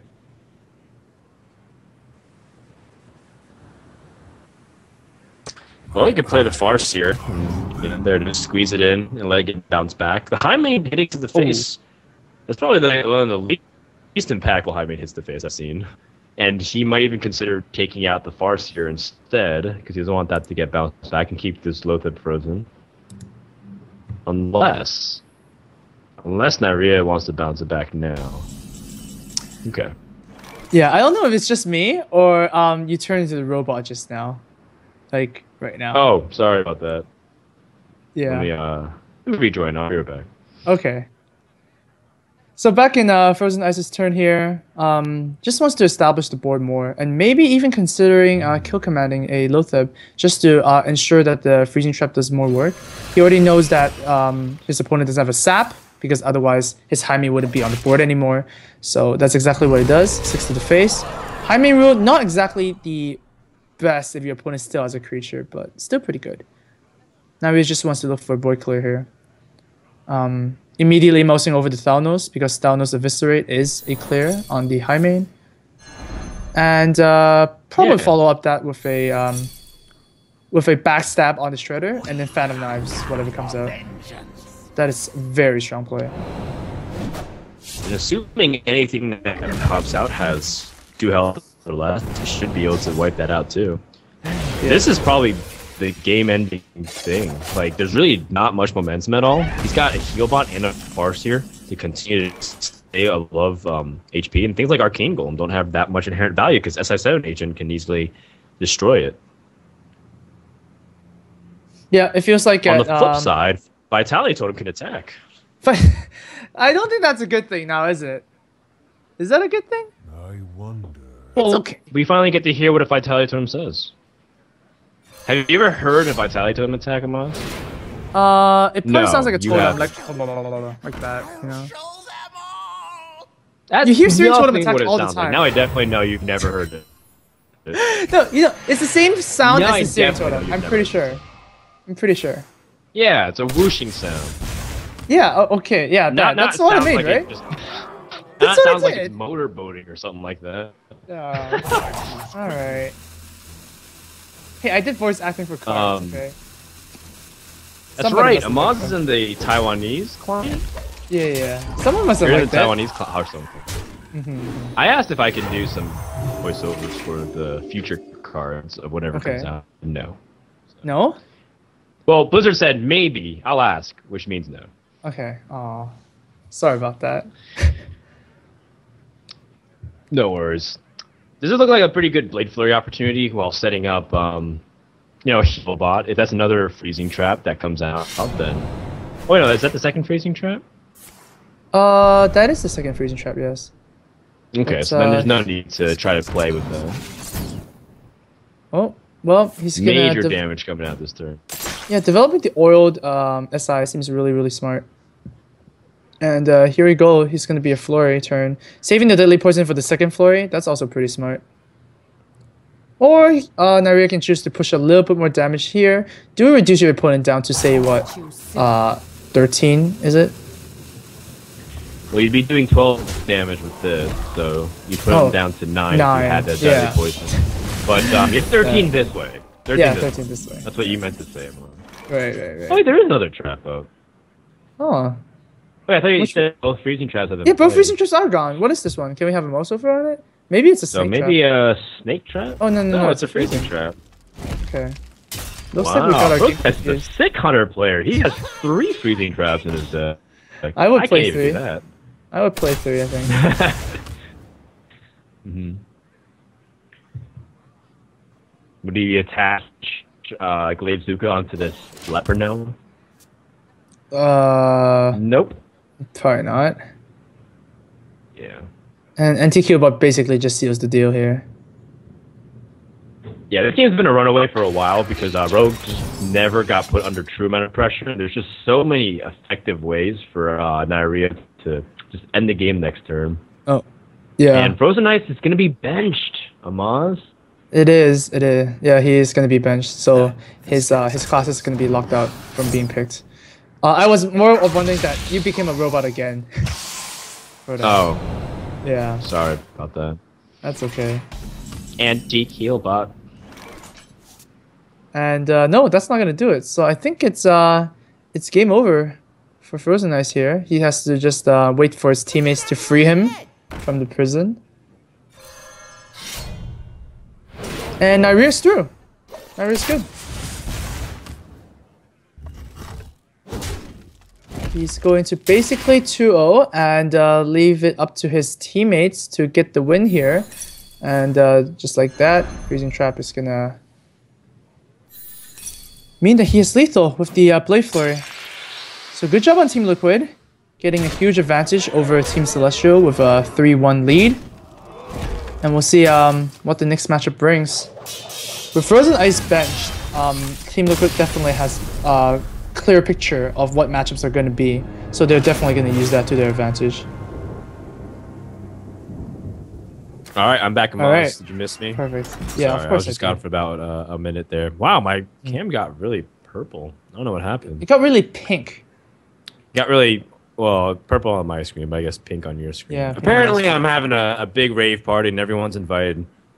Mm-hmm. Um, you're invited to Amaz if you want to come join me. Oh, that's good. I do like I do like pink parties. All right. Well, um, taking a look at the what's remaining here, Frozen Ice is bench, which means Shaman, Warrior, and Druid are the only classes uh, available here. And we know it is Patron Warrior, and uh, we don't know anything else though. Well, I mean, if there's gonna be a patron warrior, a druid, and a shaman, you pretty much want to play a warlock. I think. Uh, it just it feels like. Well, I guess it depends on what kind of warlock that is, right? But It's if it's Zoo a from handlock, Savjz, I think. oh, it's, oh yeah, oh yeah, of course, of course, it's Zoo. So uh, Zoo is not bad against patron. Zoo is really good against druid, and Zoo is really good against shaman. So I think my prediction is gonna be Savjz warlock next. Okay. I wouldn't mind um, SjoW's Patron Warrior here either. Oh, we SjoW playing the Patron Warrior? Oh, we don't know yet. Oh, it was Tiddler. Yeah, okay. SjoW was playing Hunter versus Patron Warrior. Yeah, yeah, yeah, yeah, yeah. So we don't know what SjoW is playing uh, his warrior archetype, but we do know Savjz Zoo. And just based on that information alone, I think Savjz Zoo is gonna crush it. Uh, there's no there's no uh, hunter or uh, rogue to kind of counter that zoo, and you really want that zoo to win because you already revealed that information already. Okay. Yeah, I, I can get behind that for sure. I think I, I if SjoW is playing the Patron War, I think I wouldn't mind bringing it out here too. At worst, you have the mirror. Um, and if you're Celestial, what would you want to bring? what bring? What's your best chance overall? Oh man. If you know Savjz is Uh, bringing Zoo, maybe Taylor brings his own warrior. I think yeah, I think Patron against Zoo is the best chance. I think Patron against Zoo, Patron is a favorite, but then overall, I think Zoo is a very good choice for Liquid. So, I yeah, that's that's my prediction. So Patron versus Zoo, and boom, no, not at all. Well, we got one right. Savjz is definitely gonna queue against the Zoolock, and Sandstorm gonna bring out his mysterious shaman. Uh, yeah, I'm not gonna. I'm probably assuming it's maybe mech shaman. I'd be really surprised if uh, he just decided to go crazy shaman with mid range. But at the same time, that's that's kind of Silent Storm's style. He likes he likes blowing people's minds to a certain extent. Malygos Um, shaman.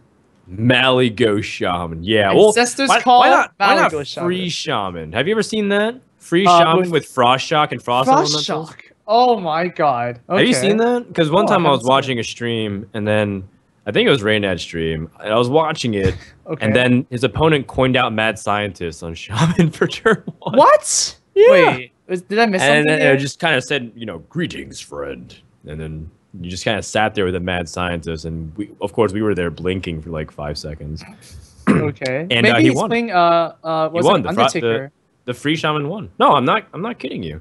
It was basically the- really? the, Mad Scientist was a troll card, but you play Ancestors Call, Malygos, but you just play freeze cards and you just keep freezing the board. But you What the- have Frost Elementals. Then what the heck was the Mad Scientist doing there?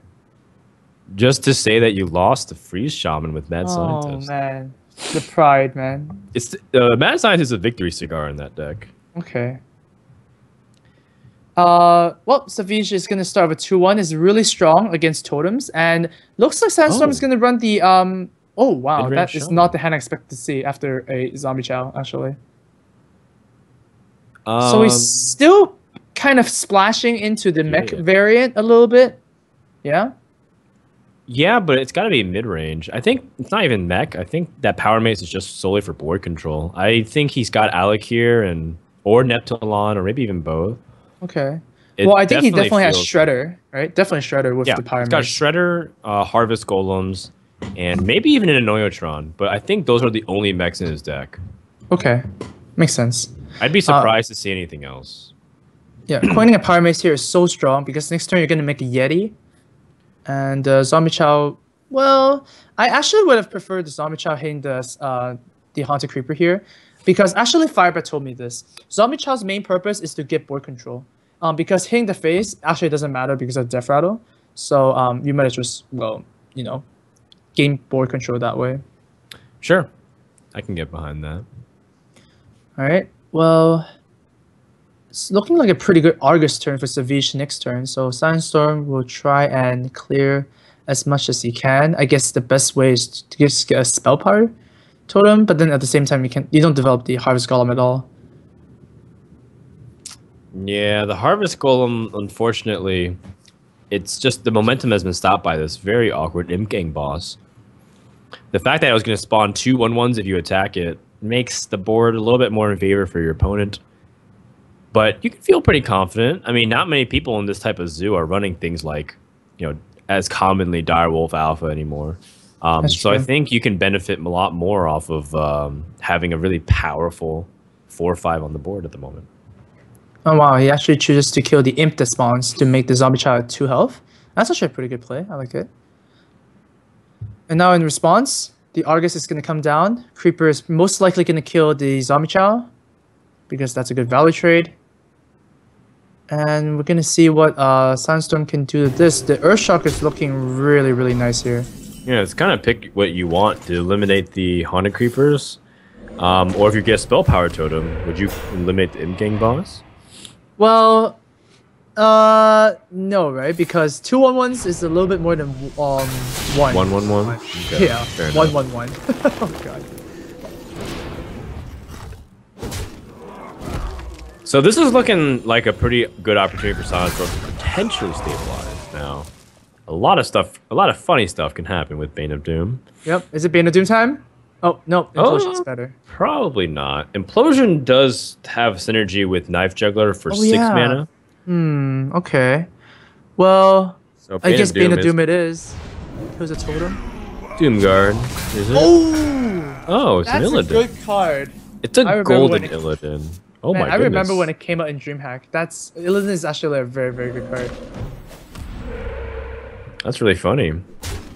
Um, But- and now that Illidan's, you know, taking the hex over, if he ends up drawing one of his legitimate threats, Savjz will have it uncountered. And there you go. That's one of the legitimate threats. Yeah, Can't really it's pretty play this good. turn. It's yeah, pretty but- yeah. Well, three is pretty good. Three on the implosion is average, um, but the most important thing is that now it's forcing your opponent to have the answer to knife juggler behind a taunt, which he conveniently does. Fire Mm-hmm. elemental on the three two. But then uh, we're gonna see some uh, sea giant action. There's a second hex though. There is a second hex. It's not even about that shaman will be out of removal of hexes, but think about the tempo that you're going to be able to gain if you have hex and lightning storm next turn. Uh oh, this is a greedy play. This is a very greedy play. No! Very, very greedy. Oh, the you get 2-1. punished for the greed. That's what happens when you don't play Sea Giant when you can. Oh man. Well, I guess to silent uh, to Savjz it's not really that bad because Sandstorm is holding hex, right? But still, like you get you get punished a little bit. Oh man. Yeah, I would play the Sea Giant for sure. Yeah, it's interesting. I think Savjz is really regretting how that ended up panning out. Now he knows if this is traced to the knife juggler, he wants to get the attacks in now before it gets lightning stormed away potentially. But I still think you need to charge the face, get the damage in, put Shaman in a really awkward spot. And an awkward spot he is at with this kind of hand. No, board clears. Oh, mana size not going to be good enough. Healing Okay. totem. Not bad, Yeah, it's okay. It's not the worst one. but BGH is a very good draw next turn. Uh, so you definitely tap here because you can. You can play everything and then play Sea Giant as well. So you should tap here first. Well, you should. Just so you can have more options. Yeah, generally speaking, you want to draw first in case something changes, but I don't really think anything changes. Oh, abusive would be nice. Yeah, Oh yeah, true. Abusive would be better than maybe the Void Walker. but this is fine. You just slam down everything. Sea Giant comes down as well on the field. Sea Giant for one mana. Goodness gracious. That is pretty value. So it's looking for some value trades here. Doesn't seem like he can clear everything. So he has to choose. Is he worried about the spell power on the Drake at all? Uh, as a shaman, not really, I guess. But at the same time, I, I, I- I guess you kill it, huh? This is the lightning storm. He's fearing the lightning storm. True. All right. Well, this is the march back. If uh if you're a Silent Storm, you got a big game hunter to answer, and you can load up the board with Azure Drake. Mhm. So here, you kind of want to kill the Void Walker. Because uh, not only does it get buffed by Mal'Ganis that we see immediately, is that if you kill the Creeper, you're actually not removing any power off the board. It's still 2 attack. Hmm, Owl is pretty useless. Mal'Ganis is not as effective on this board as you might think either. Right? Um, but you just saw BGH, right? What's the chances I of him having a is second BGH. hex? Yeah. But he's going to be able to remove it relatively easily. I guess you just you're, you're it's your best play this turn because if you tap and you get owl into really nothing else, Power Overwhelming, for example. you're basically passing. Yeah. Yeah, Mal'Ganis is fine here. I mean, based on what Savjz's current situation is, we know it's really bad. And oh, that's a That's bit better, better. I guess. That's much better. Realistically, though, that just might force out a second hex from Silent Storm, so that way it doesn't get the the big swing from Mal'Ganis. Oh, that would be actually pretty detrimental if he actually uses the hex here.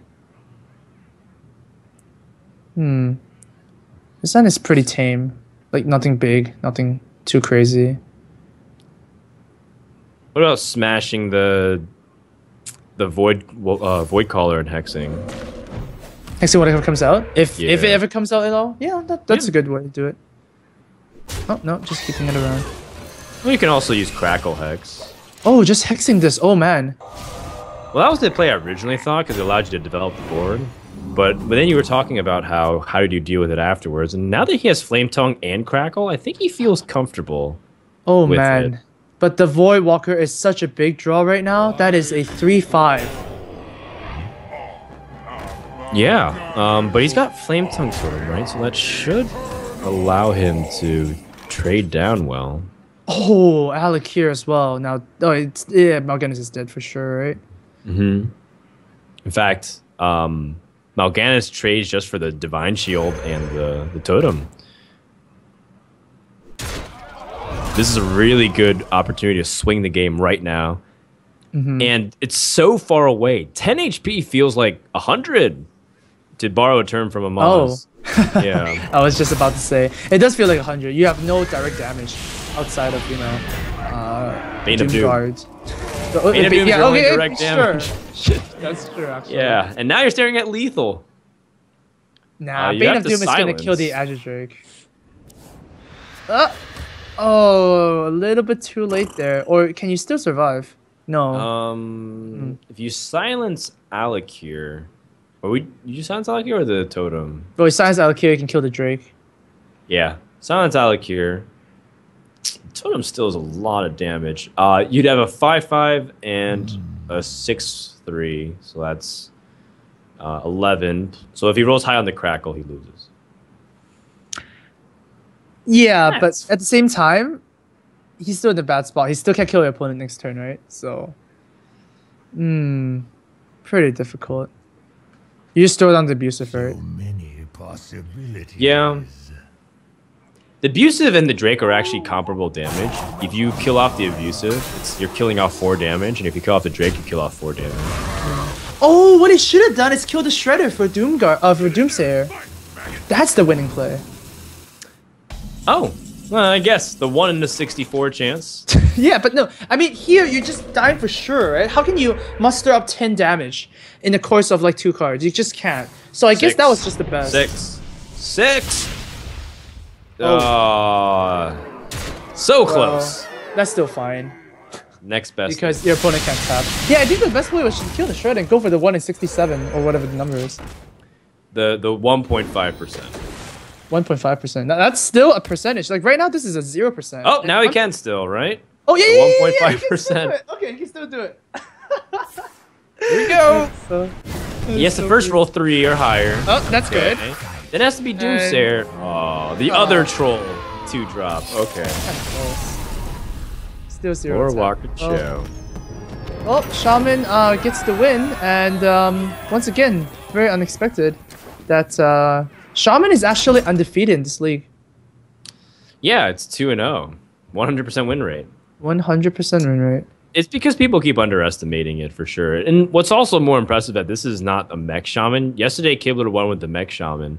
Right. Um, and now Silent Storm is done for the day. He won Yeah. his two games. he detooled. That was He's cleaned uh, up. He's going home. Or he is yeah. home and he's going to go get a sandwich. a or he'll ask someone to make a sandwich for him. Okay, I, I, I s- I- I- I might see what you're doing there. Yeah. Maybe. And Tiddler and Frozen Ice have to start pulling their way because they've combined for three losses so far. It's actually so crazy that the team captains are the ones that are dropping their games. Well, not. Oh wait, not yesterday though, right? Yesterday Not the yesterday, team yeah. captains were winning, Yeah, Firebat and Life Coach just won their games immediately. and then uh, yeah. Ecop won his game too. Yeah, Ecop won bonus game, yeah. So um I don't know. It feels like this format is really cool because you see who is actually gonna breeze through, and it's always somebody who's like left behind. Well, because not everybody can win if you're on a losing team. Unfortunately, one player Oh. will end up being a struggler or ends up losing two or three, maybe even four games if you're Kolento. Yeah, oh man. but the series just now, um, it seems like Force and Boys were such in a dominating position. They were so close to getting a 6-0, but Tempo Storm did manage to win what, uh, four games afterwards? So that was fine. Yeah, and the team captain Gara ended up winning his games too. So That's true. team captains are coming through. Team captains are coming through. Not not in this series though. Savjz and Tiddler are need to pick it up. They're slacking a little bit. Scrubbing it Still up. waiting for their moment. Okay, not slacking. It's just waiting for their moment. And uh, yeah, we'll see what the next game brings. But once again, guys, it's uh, over a couple of weeks. At the end of the end of, end of all the weeks, we're gonna see who does the best. Couple and, of weeks. um, Sorry. A couple of weeks. You're giving the impression that we'll be done by the uh, end of July. Guys, we're I going to it's September. a- This it'll go by really fast. I mean, Yeah, it's July already, right? It just feels like going all the way yesterday it was September. January. Wait, We're what? ready. We actually were close to calling this the fall classic. That's how deep we're going into the, the season, man. Well, yeah, very close, very close. But uh, as we, I think, I don't think we explained the advantage yet. Uh, the first uh, placement for this round robin phase actually gets to pick who they play against in the live finale. So it's actually quite important to place as high as you can. Like um, every place kind of matters. Sure, uh, fourth and fifth are kind of the same, and sixth and seventh kind of same. But uh, it gives more incentive for players and teams to do well over the whole course of the league. Yep, that's right. Uh, you know, there really aren't many losers until the very last week, and then all of a sudden there's a lot of losers, and uh, then we have the top four, and then we finally get one really rich team, one kind of rich team, and then the rest, uh, you know, wallow in their sorrows for not being able to win the mess. There's a lot of money on the line, man. Two hundred fifty thousand dollars prize pool, and uh, I believe a hundred to the winner. So this is a lot of money that's going to be distributed. Um, but we'll, we'll we'll cross that bridge when we get there. In the meantime, uh, these teams, the team captains, are going to face off Oh man, Druid versus Druid. Oh man, the classic matchup of who draws Wild Growth and Innervate as well. And like you said previously in the previous series, uh, I of course used previously twice there. Uh, whoever draws Innervate, I think uh, as well is the favorite because you just want to establish the first minion, and the person who does that is always ahead because druids usually play one minion a turn or remove one minion per turn. They can't do both at the same time. The only card that does that is Keeper of the Grove. There is um another way to differentiate players. I know some people they they facetiously say like whoever draws the better cards is the better player. Right. But um, there are some scenarios where you can see the better druid players um, really push the window of when to be aggressive versus when to go for the trades and be defensive. And I Sure, think I mean- a lot of um, mid-tier players who don't who don't maximize their win percentages over trade, and um, they, they they can't read the situation as clearly as some of the best players. That's that's the small differences that end up giving them the win sometimes, which ultimately make the biggest difference. Yeah, okay, I, I agree with that because there are a couple of situations where do I reveal the shade or, or do I don't, right? Do I go for the mm-hmm. face or do I go for the value trade? Yeah, that definitely makes sense. But I guess it's more apparent when both druids have wild growth or innervate or both druids do not have those cards. Those are Sure. the exciting games in my opinion because sometimes those cards just really give you such a huge advantage that sometimes a mistake or two would not cost you the game. But yeah, you do want to win those 20% of the games where both druids do not draw anything, right? Is it twenty percent? Nope. I, I mean, Okay. I'm just throwing a random number out there. Gotcha. the, the the the game that happens every so often. Is this one of those Right. games? Yeah, I think we see a wild growth sir. into double We five see a drops. wild growth, but we see nothing on Tiddler's side. Well, not yet, at least. Uh, I well, Savjz is just this hand is amazing. You got double five drops next two turns, and uh, Tiddler just hero powered at turn two, so we know that Tiddler does not have a wild growth. But does he have an innervate? Nope, he has a shade. No. Shade is good too. Yeah. Shade is still something because now you're taking initiative onto the board, even though it does kind of stink that you're not able to take the, the mana tempo back in your favor. Right. And I think the worst case scenario too is when your opponent's going first and he gets a wild growth off, and you can't really punish with a follow up play, because then he's two mana ahead, and it's like when you're playing Ancient of Lore and you're like deciding if you should play Azure Drake. It's like, huh, well, uh, I'm not sure of what I'm gonna be able to do here. Um, in that scenario, so I, I really like that uh, Taylor's at least still able to play a three job because that keeps him competitive in this game. That's true. Um, so right now we don't really see Tiddler's uh, cards because he forgot to invite us. Um, so hopefully Oh, he'll get right it was that. bad, man. Yeah, Feels feels real bad, bad. man. So yeah, once again, uh, druids can only usually remove one creature or develop one creature. And Tiddler actually mm, used two cards to kill one card. So Savjz is looking really pretty here. Yeah, what do you think about that using swipe? Maybe his hand has developed to the point where he can't afford to play swipe any other turns from now, so he needs to swipe now so his curve can be respected and he can deal with that Druid the Claw. That's that's Uh, my I that Uh, you could say that, and you could also say that he does have a shredder. Like the only thing he has in his hand is just uh, a swipe for four. Yeah, sure. I mean, you could also, yeah. I mean, I mean that's what ultimately you can say about it because swipe in this matchup is not very powerful outside of just drakes and and shredders themselves. Um, I actually would rather keep wrath sometimes if I had to choose between, even though they're comparable damage, because Okay. uh, the swipe is really clunky versus the uh, the the wrath is more versatile. Although it does help you draw cards sometimes too.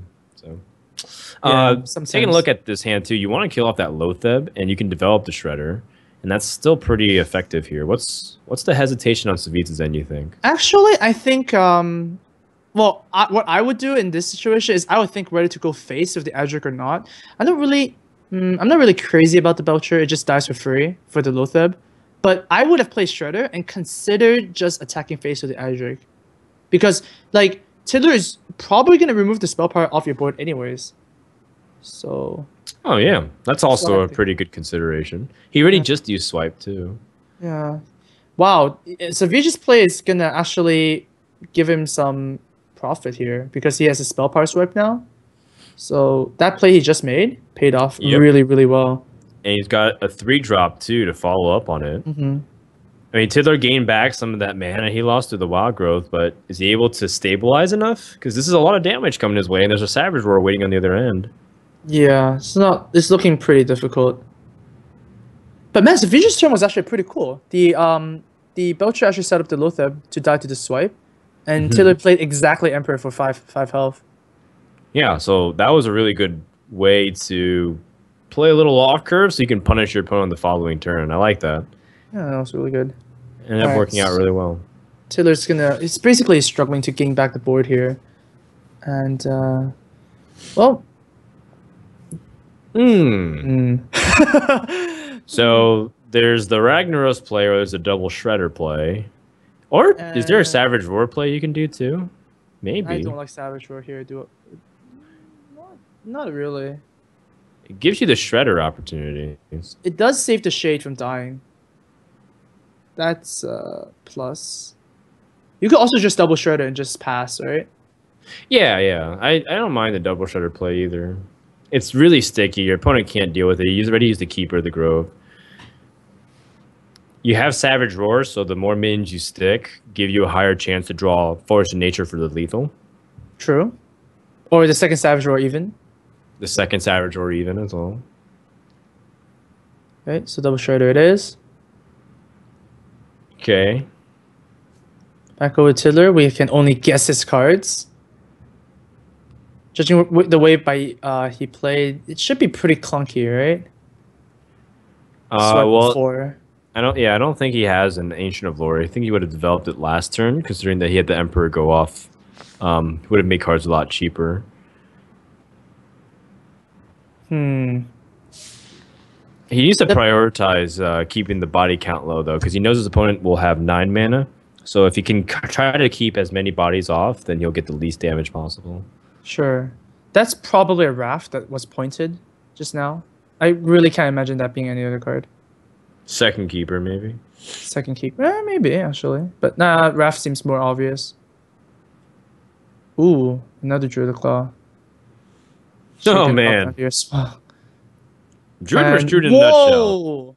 Always to the That face. is aggressive. Okay, And and, nah, that's, lethal. That's a million damage, right? Yeah, we ran into the nearest million. It's a million damage. I'd like Oh, to man. see the shredders being popped. By the way, Ev- per per Druid of the Claw. That'd be awesome. Just to see what comes out. No, Taylor doesn't give him the satisfaction. So this is one of the games where it's kind of decided by the wild growth, right? Um, which happens. Sometimes you just gotta shrug it off. I mean, even in poker, sometimes you know the lucky ones you just let your opponents win, or you just win yourselves.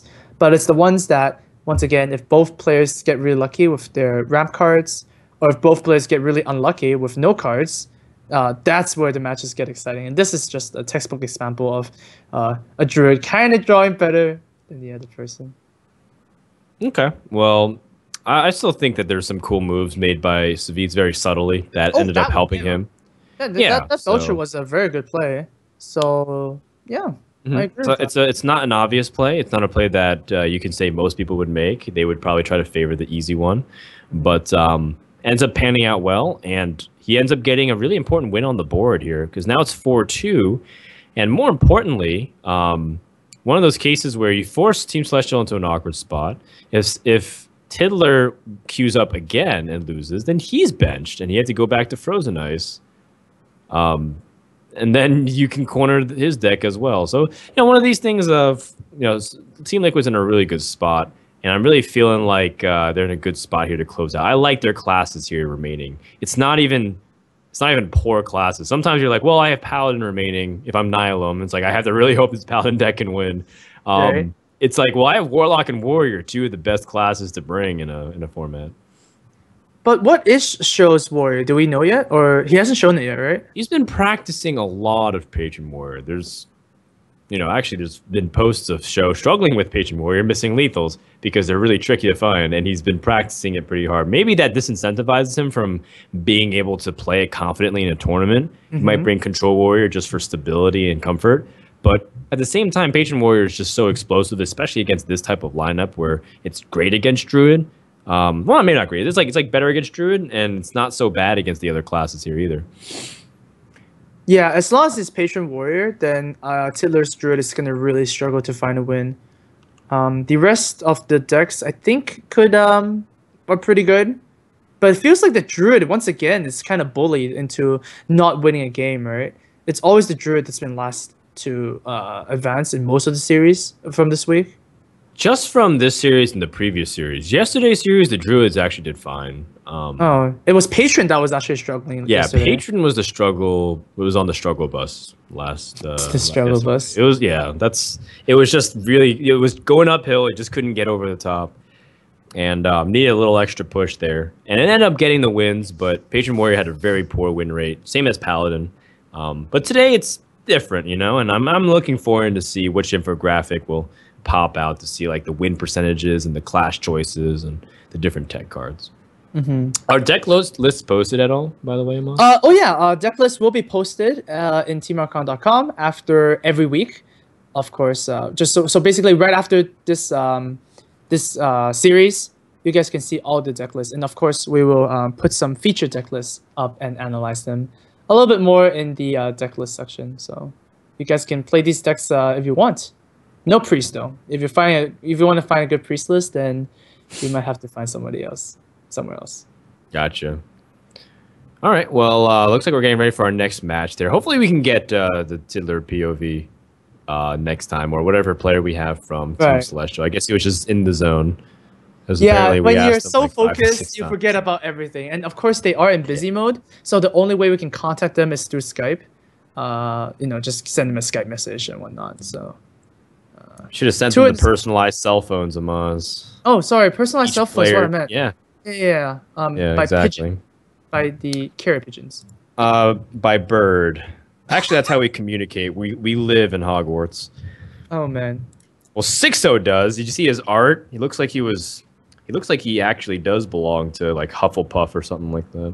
Hufflepuff. I can imagine. Very No, let's be real. Sixto's a Slytherin. Oh, oh, wow. Okay, okay, okay. I, I- can see that. And everyone who knows him would agree. it's a sinister-looking face, right? It is. It He's like, is. no, Oh, he he's, he's even- very, you know, he's also Okay. quite pale. He's got like that, uh, Oh, you know, okay, I see. that malevolent stare. I got at you. I got you. And he plays, he plays Face Hunter and Zoo all day on ladder. Come on, that is that's Slytherin in a book. Uh, Come on. You know, I actually think Face Hunter is very respectable in the in the tournament, cause like players are all good, so they can play against like Face Hunter really well. And sometimes you always have to eke out those last bits of damage. So actually, I respect Face Hunter. Okay, okay. You're entitled to your. it, maybe it's just me. I don't disrespect Face Hunter. I think um, the deck is trickier in a tournament setting than than you think. Uh, but in ladder settings, yeah, I let the disrespect flow. But it's primarily my own salt. I, I just I get really salty when I lose. Everybody gets a little bit salty. It's the degree. Warrior, um, Warrior versus Warrior. By the way, coming out here, we're gonna see the SjoW Warrior finally out. Is it the Control Warrior? we've seen one control warrior earlier today, where hyped uh, was bringing it, but unfortunately it was a very quick game. It was a one-sided aggro paladin versus control warrior. Didn't really do much. And we know the Tiddler's bring uh, the the patron warrior. Wh- What do you think if uh, if the if that uh, SjoW is running control warrior and Tiddler's running patron? Uh, I th- think the control warrior generally is favored, but it's not impossible. Some people would say like, "Oh, control warrior wins like 90-10 or something." So I remember someone tossed out some Oh, random 90-10. like that. Uh, And I was like talking to the rat at ESL, and he was like explaining to me a lot about the nuances of that matchup. And when he described it the way, like I agree, I think a lot of people don't play that matchup correctly because they don't see it very often, either on ladder or they don't really practice it much. Um, so if it is control warrior versus patron, I would give the nod to SjoW. But I would definitely say that Tiddler is still competitive, especially considering that he's put some of the most time in out of anybody playing patron warrior. Okay, that's a fair analysis. And of course, we want you guys to tweet out hashtag ATLC if um, you know, just give what you think about the Warrior matchups, what you think about the whole tournament, some feedback you have. You know, keep communicating to us, and uh, we'll improve basically every broadcast. All right. Well, it looks like the players might have actually started, and we're just trying to get the spectate Oh. mode in, the way. In the meantime, we can imagine our own warrior versus warrior game. So this is what's going to happen. Okay. I'm going to turn to armor up. What are you going to do, Amaz? You can play Uh, as. You okay, can roll. I will turn to. I'll, I'll play a Loot Hoarder. okay. Well, uh, you played right into my hands. I turned three Cruel Taskmaster your Loot Hoarder. Oh, okay. Well, Followed up by. I, I think you got me there. oh, gosh damn it. Oh, you're a good player, Frodan. Thank you. Thank you. I drew that off the top of my deck, by the way. Oh, you, you don't have to say it. Oh my god. Yeah. Man, top decking your opponent. Sometimes I think top decking is kind of, hmm, what's that word called? Over exaggerated. I think. Over. Does that make sense? Yeah, something like that. Like for example, oh my god, he top decked the BGH. Right? I mean, but then he could have had BGH in the hand anyways, right? But we never like. Right. It's, um, it's the flashy those. thing to focus on. It's like, Oh, well, he yeah, I didn't guess. have it. Yeah. I and guess. he just happened to draw it. Yeah. Um, when he could have had it from the first place, you're absolutely right. People over like it's because it's more dramatic to feel like, you know, It wasn't the there, heart of the then it was there. cards. Did you Oh, ever yeah, watch Yu-Gi-Oh? It's like. I need that card precisely off the top of my deck. You know, friend, the power of friendship. yeah. You know, Power willpower. Wow, we have to weave Yeah. it there, right? hmm That's, I don't know, I feel like kind of what I- every time I every day I stream, I feel like I top deck at least like five times. I don't know. It just it just happens a lot. Like it just how the game is kind of like you know. It, I, I think it's normal. I don't think it's like lucky or anything. It's just if it's in your deck. Okay. I don't know. I feel like you know when you when you have a BG in your deck, Alright. you're gonna draw it sometime. So like draw it when they play a giant. Like why draw it like earlier? I don't know. I I, I feel like um, you wouldn't necessarily pass the LSATs with that logic, but I, I Okay. can follow you. I can follow you on that. No, Uh, it's the you, you had intuition. me up until I don't think it's lucky. It's like No, okay, it's it's the intuition, right? Like, hmm. okay. Well, here's here's the thing that I can follow up and help support you. Okay. Um, one thing that is for sure is that everyone puts everyone also says, look, it's kind of unlucky he drew this. And it's like, well, he put that in the deck for a reason. And okay. like- okay. Sure. some people overemphasize like how some people might get unlucky with how the draws end up panning out, but it's like, oh, he's playing unlucky as a ramp druid, but it's like, oh, but he put like 15 taunts that are six mana or higher. It's like, of course. Oh yeah, yeah, yeah. yeah. The them poorly, converse you is know? true. Yeah. Yeah. So I I, mean- think uh, people overemphasize that. Yeah, yeah, yeah. Especially with the earlier um, games of Hearthstone, um, casters are all, always going, like, "Oh, he got a curve again. He got perfect curve. Of course, he got perfect curve. He's playing Zoo. Like they run eight one drops back then, right? Of course, he's gonna get is a designed to do the curve. well. exactly. so um, I don't know. I think people just need to wrap their head around Did like if- exactly what he wanted. no. yeah. Anyways, uh, we have armor up, armor up here. Um, Oh, but I like SjoW's game. hand. I like SjoW's hand a lot. He's got Inner Rage on the Grim Patron with the Death's Bite. And um, it's not necessarily about the card draw in the mirror match at all. Um, it's a lot about who can grab the early board and control it and never let go. Yeah. It feels like it's really hard to come back from a board full of patrons because that deck doesn't run any board clears. The only board clear is patron, and unfortunately, patrons do not clear patrons. Yes. Moreover, that um, some cards are just really funny because they're so good in your matchups for other decks, and then they're just liabilities elsewhere. Um, like Armorsmith, for example, it's one of the key cards to stay alive versus aggro. But in this matchup, it's just no, you don't want to see Armorsmith for a really long time. Uh, yeah. I, get, I I don't think Armorsmith is the best example. It's just such a good card. I think a better example would be. Yeah, Priest you like Choice. Smith all the time? Yeah. I, I, oh man, if Priest had Armorsmith, I would play Priest immediately. Priest really needs one of those cards that does that thing. Cause like, remember when you and Reckful talked about Armorsmith and AOE's, right? Yeah. Like if Okay, you AOE a board of Armor comebacks. It still does something. It has a death rattle basically. Does that- Okay. yeah, yeah, and no two drops have death rattles that are like a one four. Okay. All right. When you see it like that, Amaz, you know, I again, not necessarily passing the LSATs, but I, I can definitely follow your line of uh your line of play there. I got you. Thanks, Frodan. You're like supporting me, but then stabbing me is like not really, you know.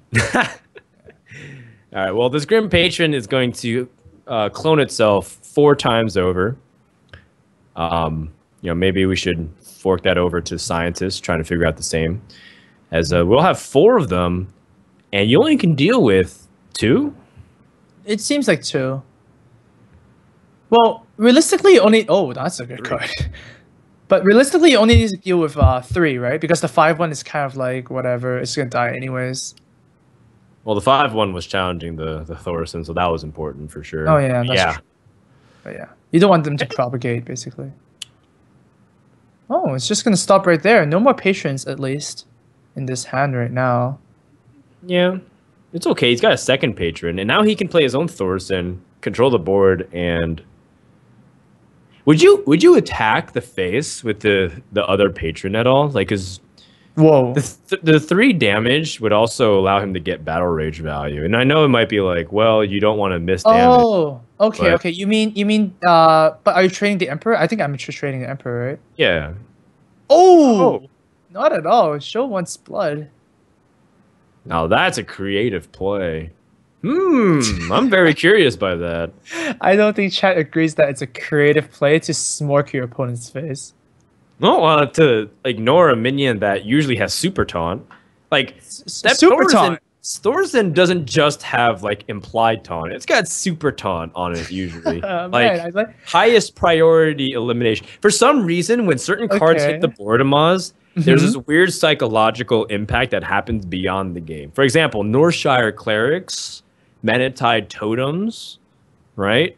Okay, uh, I. I, I get it. I get it. I just like it- how you use the term implied. Uh, that called? Super taunt or something? Yeah, was- it's that was- like I have to kill this with every fiber of my being. Like I will go through hell and back in order to make sure that this Northshire cleric dies. Like But- there's some weird reactions that people have to that card. Yeah, yeah, but is this justifiable? Because here, SjoW got punished for not clearing it. Yeah, exactly. That's why I'm saying traditionally this is what happens, but in this case, SjoW ignored the super taunt and went face. Oh man, you don't want to ignore. paying the ultimate price. Don't ignore the super taunts. This is the lesson we learned today. Oh, that's that's pretty good. That's Well, a got- he, already, he already had a, a war song though that was reduced. Oh, actually, oh damn. Oh yeah. Yeah, Oh, so excited. Okay, never mind. Oh. but now he can squeeze in an Armorsmith. It seems like he wants to hold on to it just so that uh the reverse patron would not be that deadly, maybe. But yeah, once again here, the armor strip is the liability, like you said. Yes. And SjoW, well, I guess maybe he was feeling really confident for this very reason. If you think about it, there's only a few cards anyways in Tiddler's hand. So the second the second patron um, effect wasn't nearly as impactful as the the first one. Okay. Yeah. Maybe he would have went face again with the um with the game patron, but he thought otherwise and just cleared it off. I've learned my lesson. All right. Well, um, Tiddler is forced to use the um Grommash here just because there's really not much else to do. And is this really gonna go face? face? Oh, just- oh no. Oh, okay, okay, okay. We got faked out. We got faked out by spectator client. This happens pretty often. Oh. Um, leaves the war song commander. Well, I guess both patrons are out already, so Yeah. there's not really that much scary stuff. The frothing berserker though is definitely still scary stuff. Oh man, the Great. top deck execute. Okay, I guess top decks are pretty exciting. I I, I take it back. Yeah, it is pretty flashy. It's like, oh, we needed precisely that card. Mm-hmm. Uh, I think realistically, he still could have killed that Grommash. It just would have costed four cards. Yeah, let's not do that. Let's not trade four cards into one card. Slam is a decent start, I guess.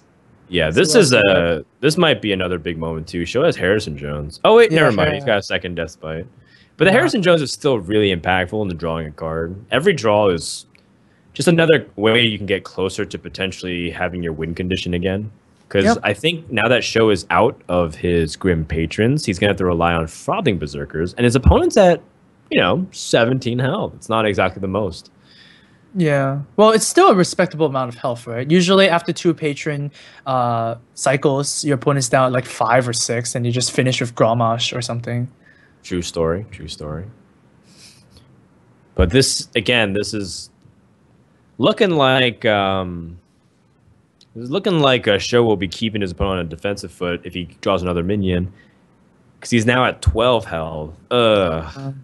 That Harrison really put a dent into Tiddler's plans here, and SjoW's looking a little too close to game, possibly with a no, no frothing.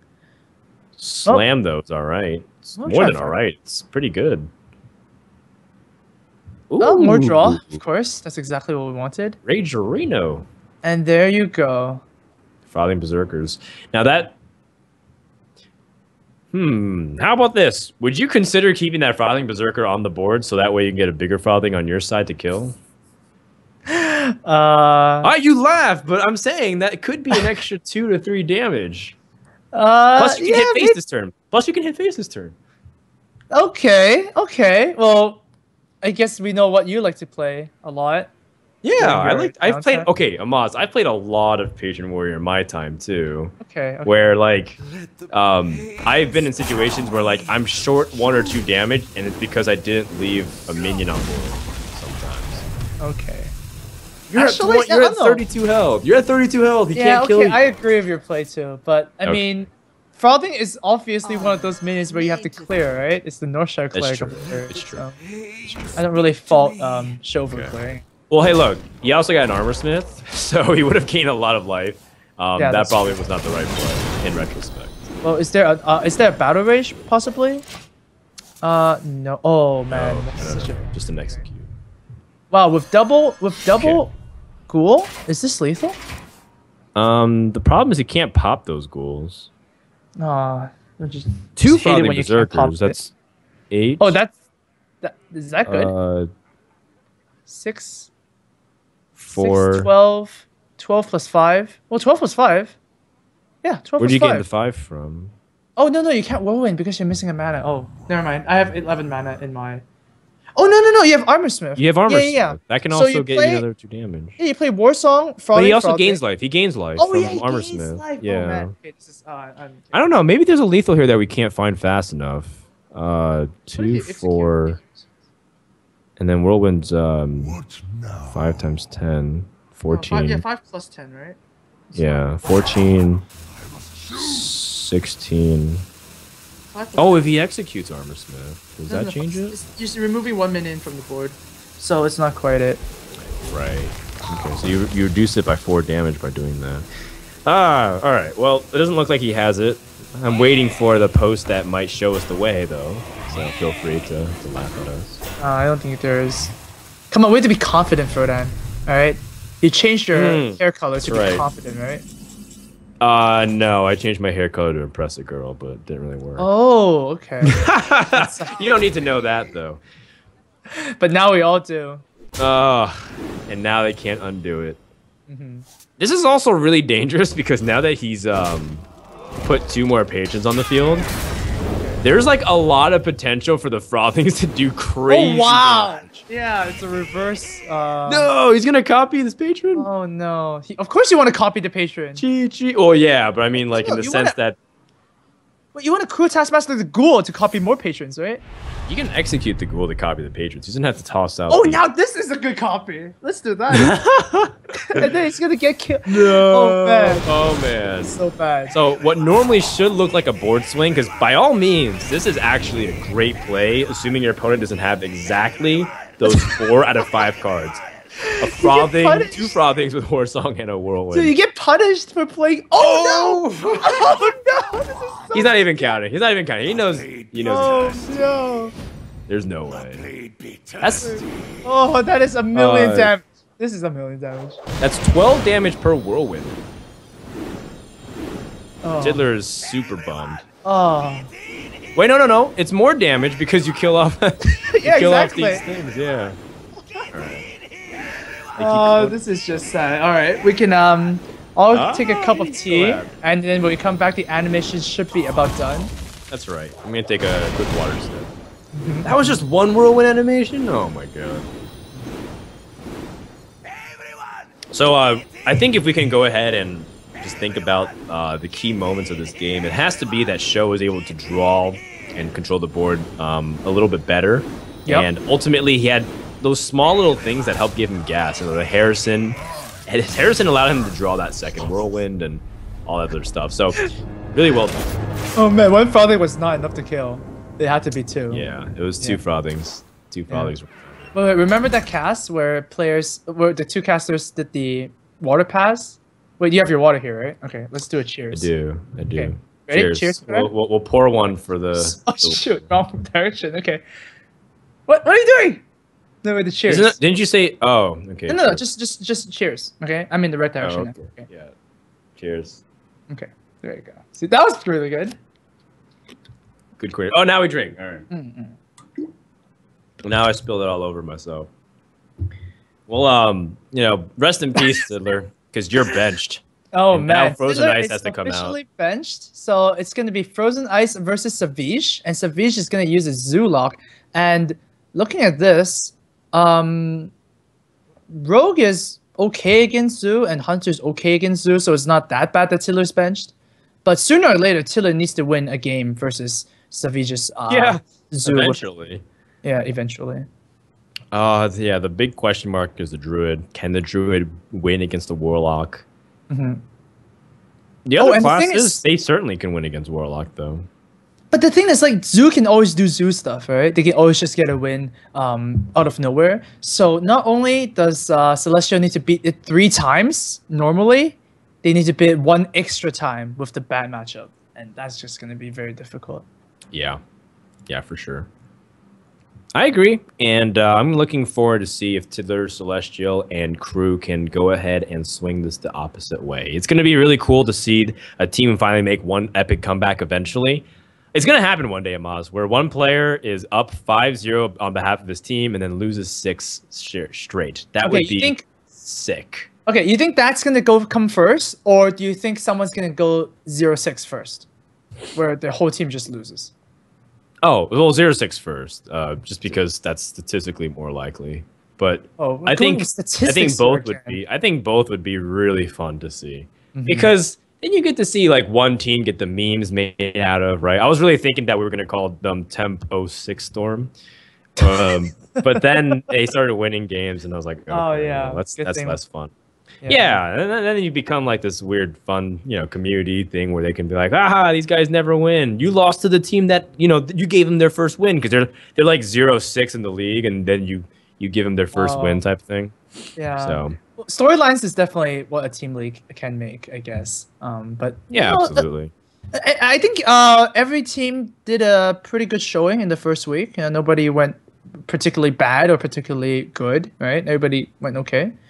So um, yeah, these teams are actually practicing, I, I believe, and uh, actually trying to feel out the format a bit. Maybe in the first week they just went, okay, let's just bring six decks and the, see whatever happens, right? But I think the uh, the teamwork dynamic is gonna start coming in in the later weeks. Okay, fair enough. Fair enough. Makes sense. Um, so I'm I'm predicting a Rogue coming out here from um, from Frozen Ice. I think Rogue is not only the class that Frozen Ice is most familiar with. He famously hit number one in Asia multiple seasons in a row with Miracle Rogue. I think it was like like three seasons in a row. He like hit number one, and I think he finished number one one of those seasons. Um, so I think it's his most comfortable class, and I think it's also the best chance against the Zoo, generally speaking. Um, I know a lot of people really like Hunter versus Zoo, but I feel like uh, Rogue has a better chance here.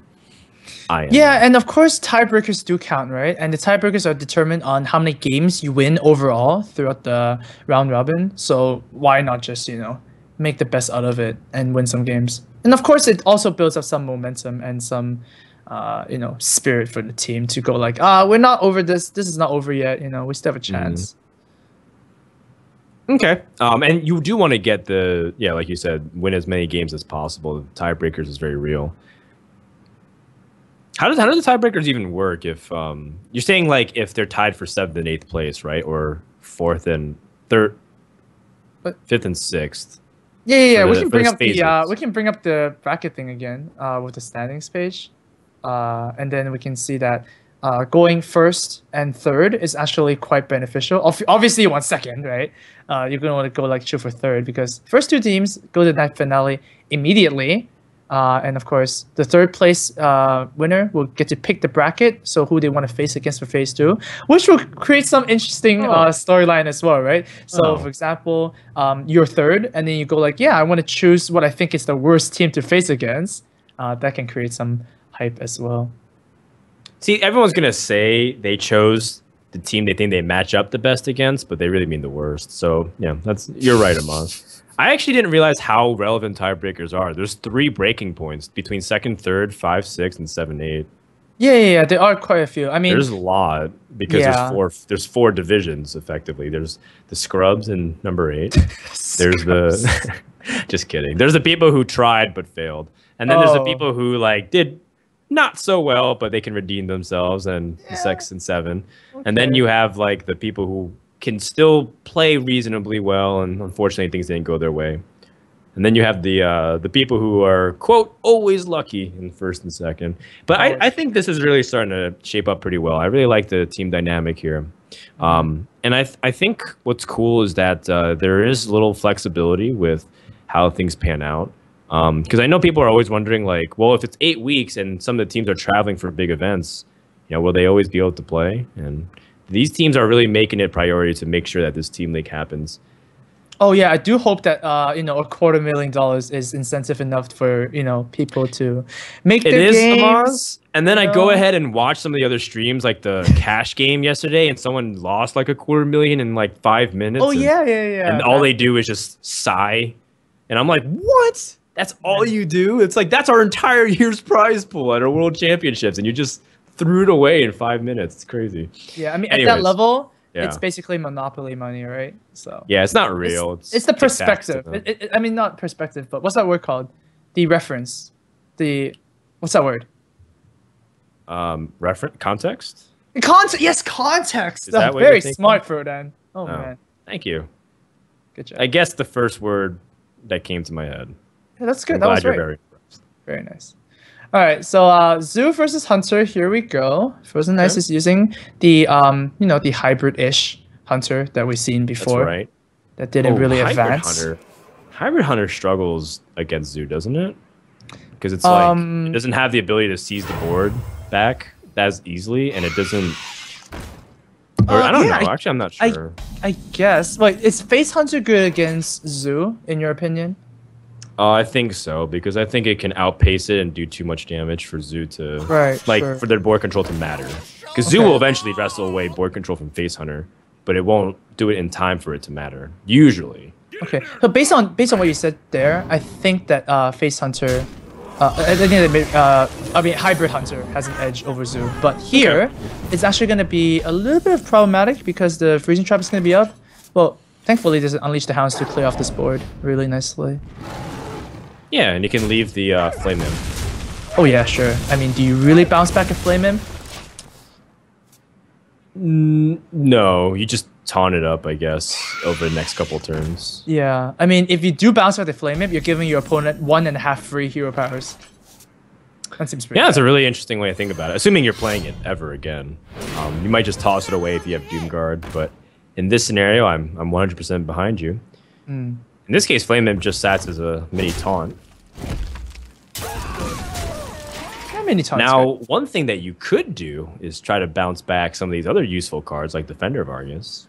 That's a good plan, but uh, doesn't look like it's uh, that good for Savjz right now because Frozen Ice is going to develop another minion. Oh my god, and it's a final Highmane. It's going to drop down soon. All right, so Yeah, what exactly do you play here?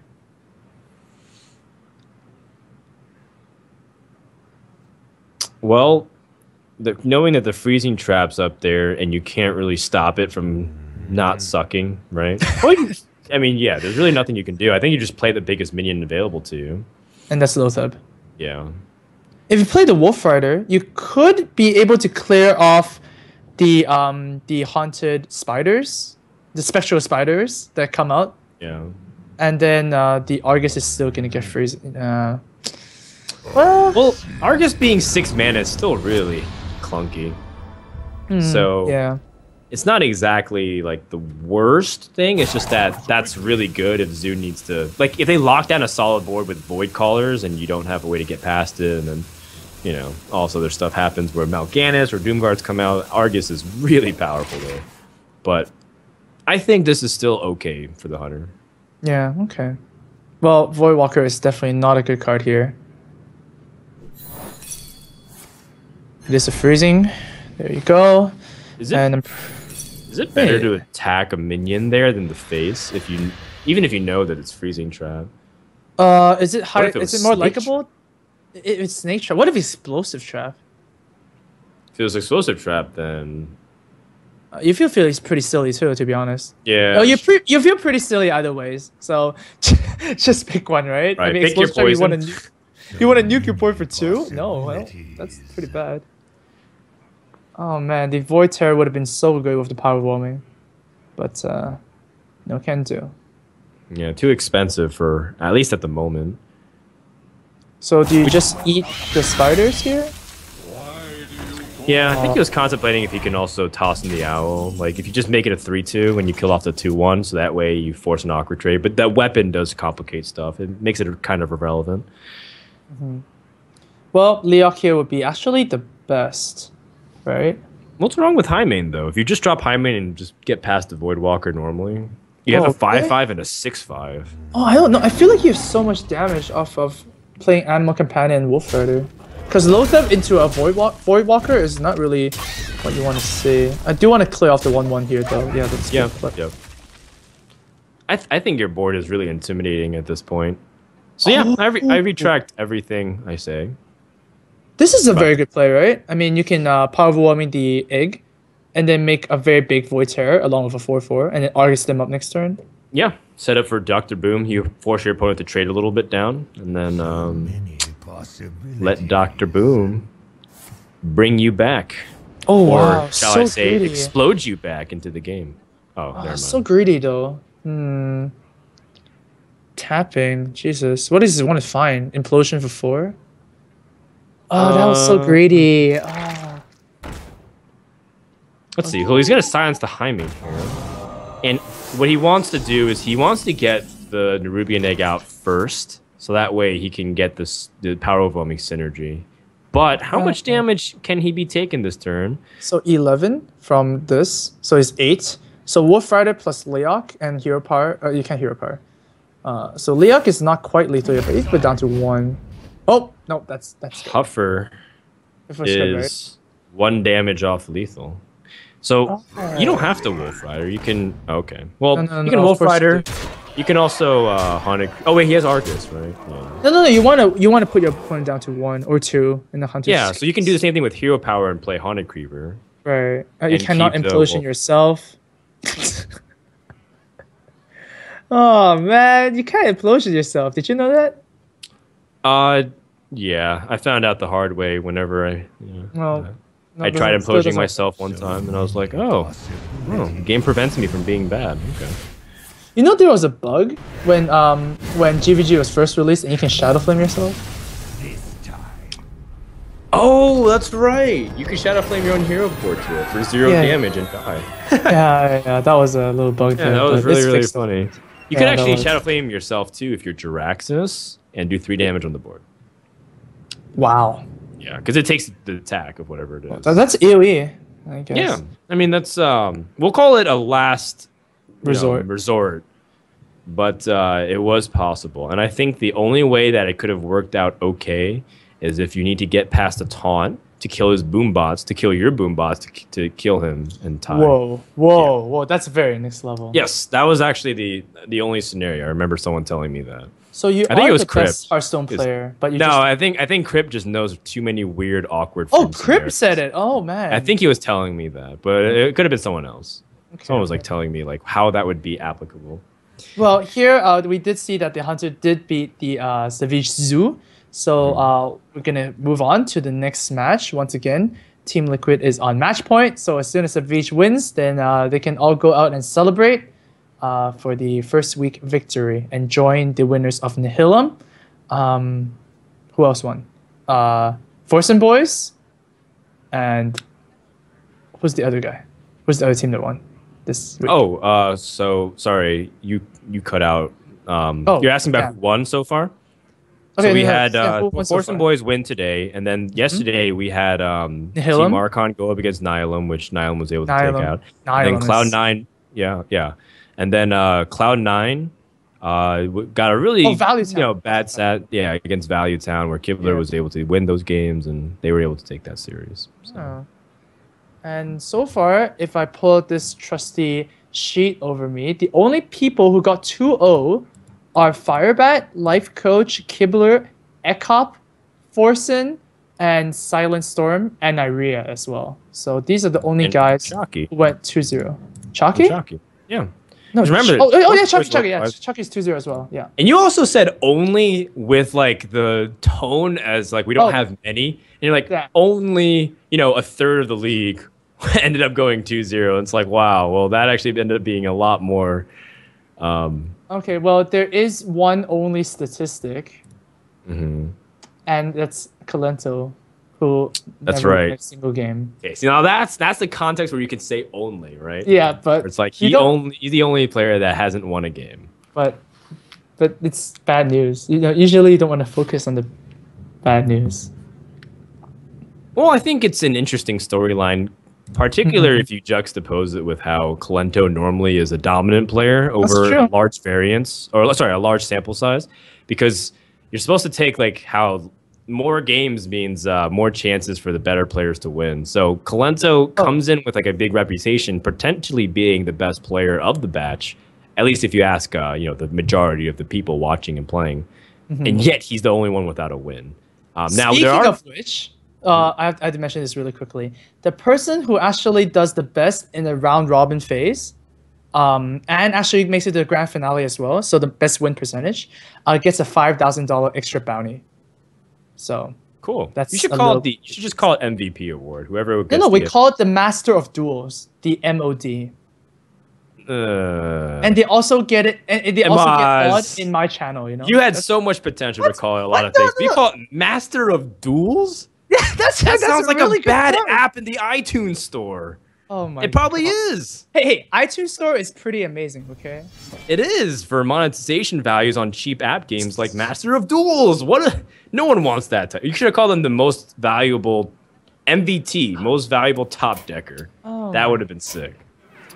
Uh, okay, okay, let's get to the game here. Uh, Savjz is once again queuing up his Zoolock. That's the only deck left to win. And Tiddler is going to step up to plate with his Warrior deck. It's and we do know it's. Warrior. Yeah, we do know it's Patron. So it's actually a good matchup. Yes. Ah, Uh, generally speaking. Now, we have seen awkward draws in Patron in the past. In fact, I, I kind of hope that you guys do some kind of statistical breakdown. I don't know if you guys will be doing it or other people who are big fans. You know, this Okay, guy just sure. loves doing it, um, loves breaking down stuff. But I really like to see the win percentage of some of these decks because I feel like Grim Patron Warrior has has just been just subpar, um, to say the least Okay. And I, I can't say why exactly. I feel like maybe there's too many unfortunate sequence of draws. Maybe the the variance in terms of how they're preparing their decks. Like for example, Tiddler puts shield block, and uh, other people don't.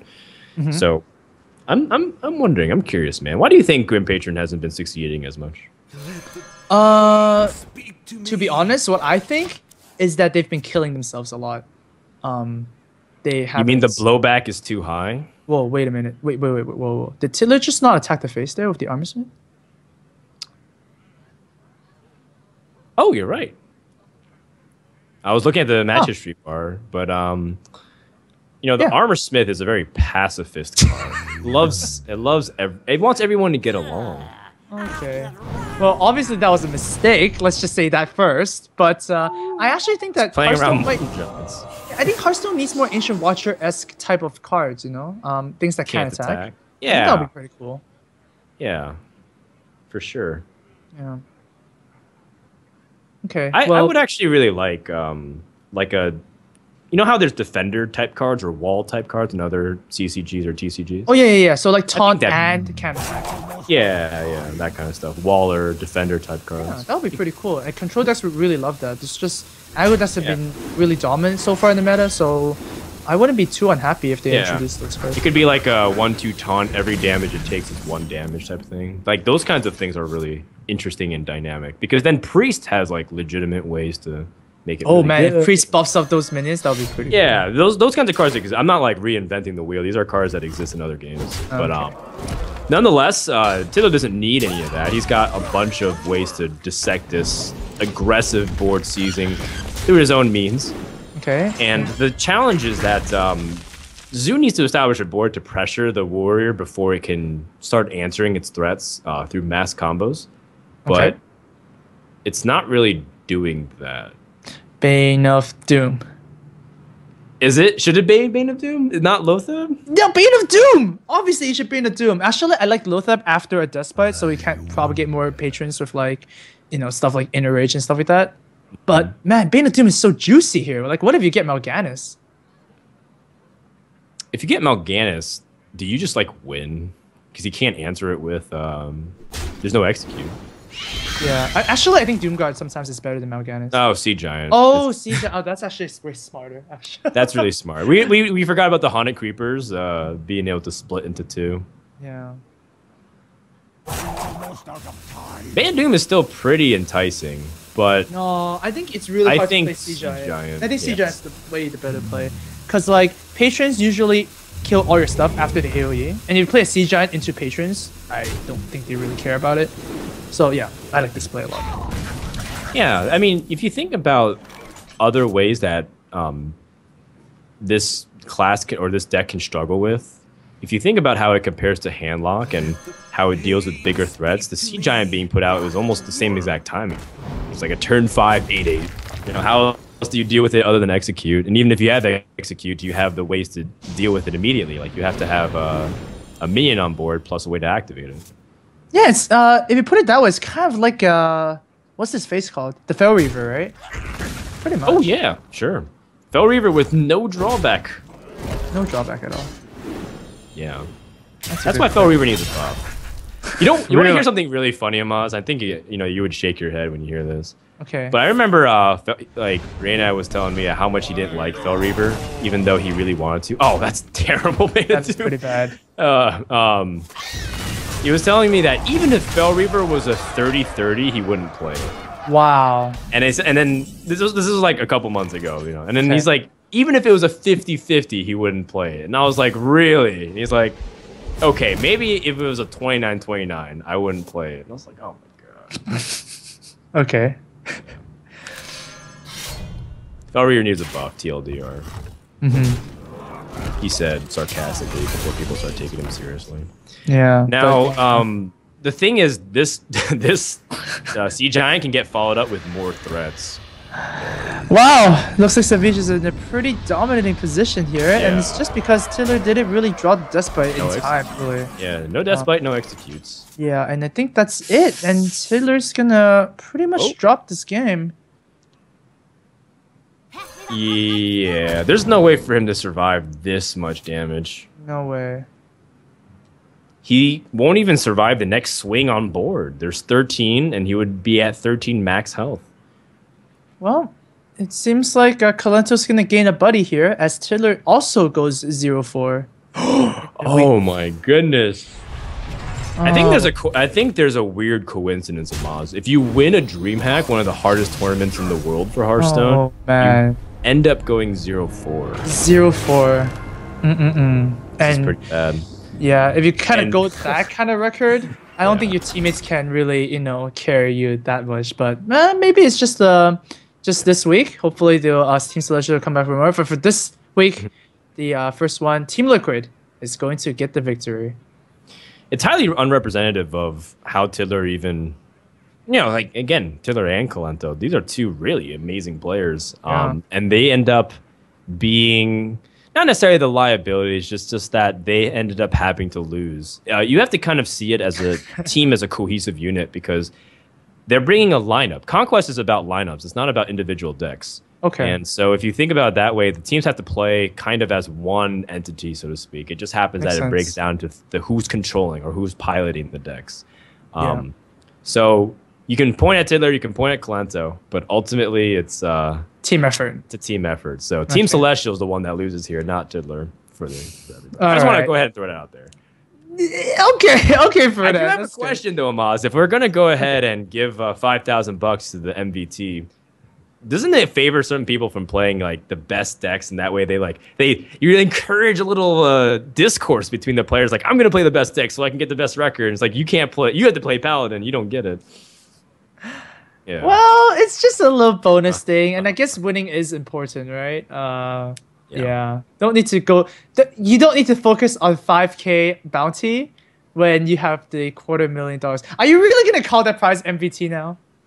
It's the master of Yes. duels. God damn it.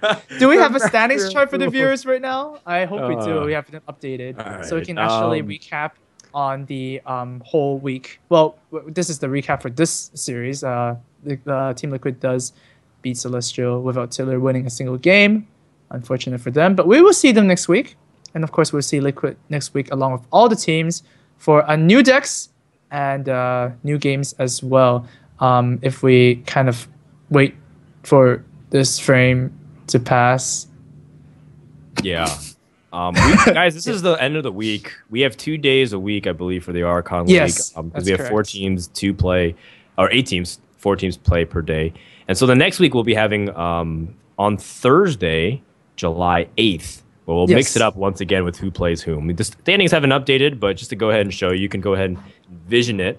We have Valuetown, Nihilum, Forsen Boys, and Team Liquid taking their first series. But most importantly, for the second place teams, which is you know four of them tied for second. I guess they're tied for fifth, though, if they want to. Uh, technically. uh, well, the game wins should be kind of, you know, sorted out the placements. but we'll fix yeah, I that. guess so. Uh, don't worry about that. But yeah, game once wins do matter though. Celestial only ended up winning Oh, how many? there- Three. Yeah, so Yeah. they're tied with Cloud Nine for last place. Well, we do have the next week's uh, uh, matchups in. Uh, it's actually all in the schedule if you um, look into our website, uh, which is uh, teamarchon.com slash uh, league. We're actually going to improve the uh, page with more graphics soon. But week two, which is uh, once again July 8th, it's going to be Value Town versus Forsen Boys. That's going to be amazing. The two um, teams with all the players. And we're going to also get Archon versus Tempo Storm. Now that would be also a pretty Oh, exciting boy. match. No, Oh, man. Are you gonna cast that with me, Amaz? Oh, we'll see, we'll see. Uh, No? no, Oh, I'm not. Even, I might not even be casting that one. You yeah, have to yeah, but okay. I'm 'Cause I think I would play up. I think I would play up and manufacture too much drama. Maybe, but it'll be fun, right? uh, then the point is like I'm not supposed to be casting this. Uh, I'm supposed to be like on the um behind the scenes and actually trying to work all the assets and calling out the people to do this and do that. And um, it, it went pretty well actually with me casting as well. I'm kind of the backup. But uh, shout out to all the production guys and everybody behind the scenes. You're doing fantastic. Shout out to the casters as well. Frodan, you're amazing as always. Thanks, man. Um, appreciate it. Thanks for stopping in and uh, being able to sub in. You know, we we sat Reckful, but you know, we'll we'll go ahead and hold the, the candle later. Yeah. All right. So I guess we can wrap this up. That's right. Thank you so much for everybody watching. Make sure to hit the follow button on the channel. We'll see you guys next week on Thursday, July 8th at 10 a.m. Pacific. Same channel. We'll see you guys then. Good. Wednesday. Wednesday. Oh, Wednesday. We'll see you guys Wednesday.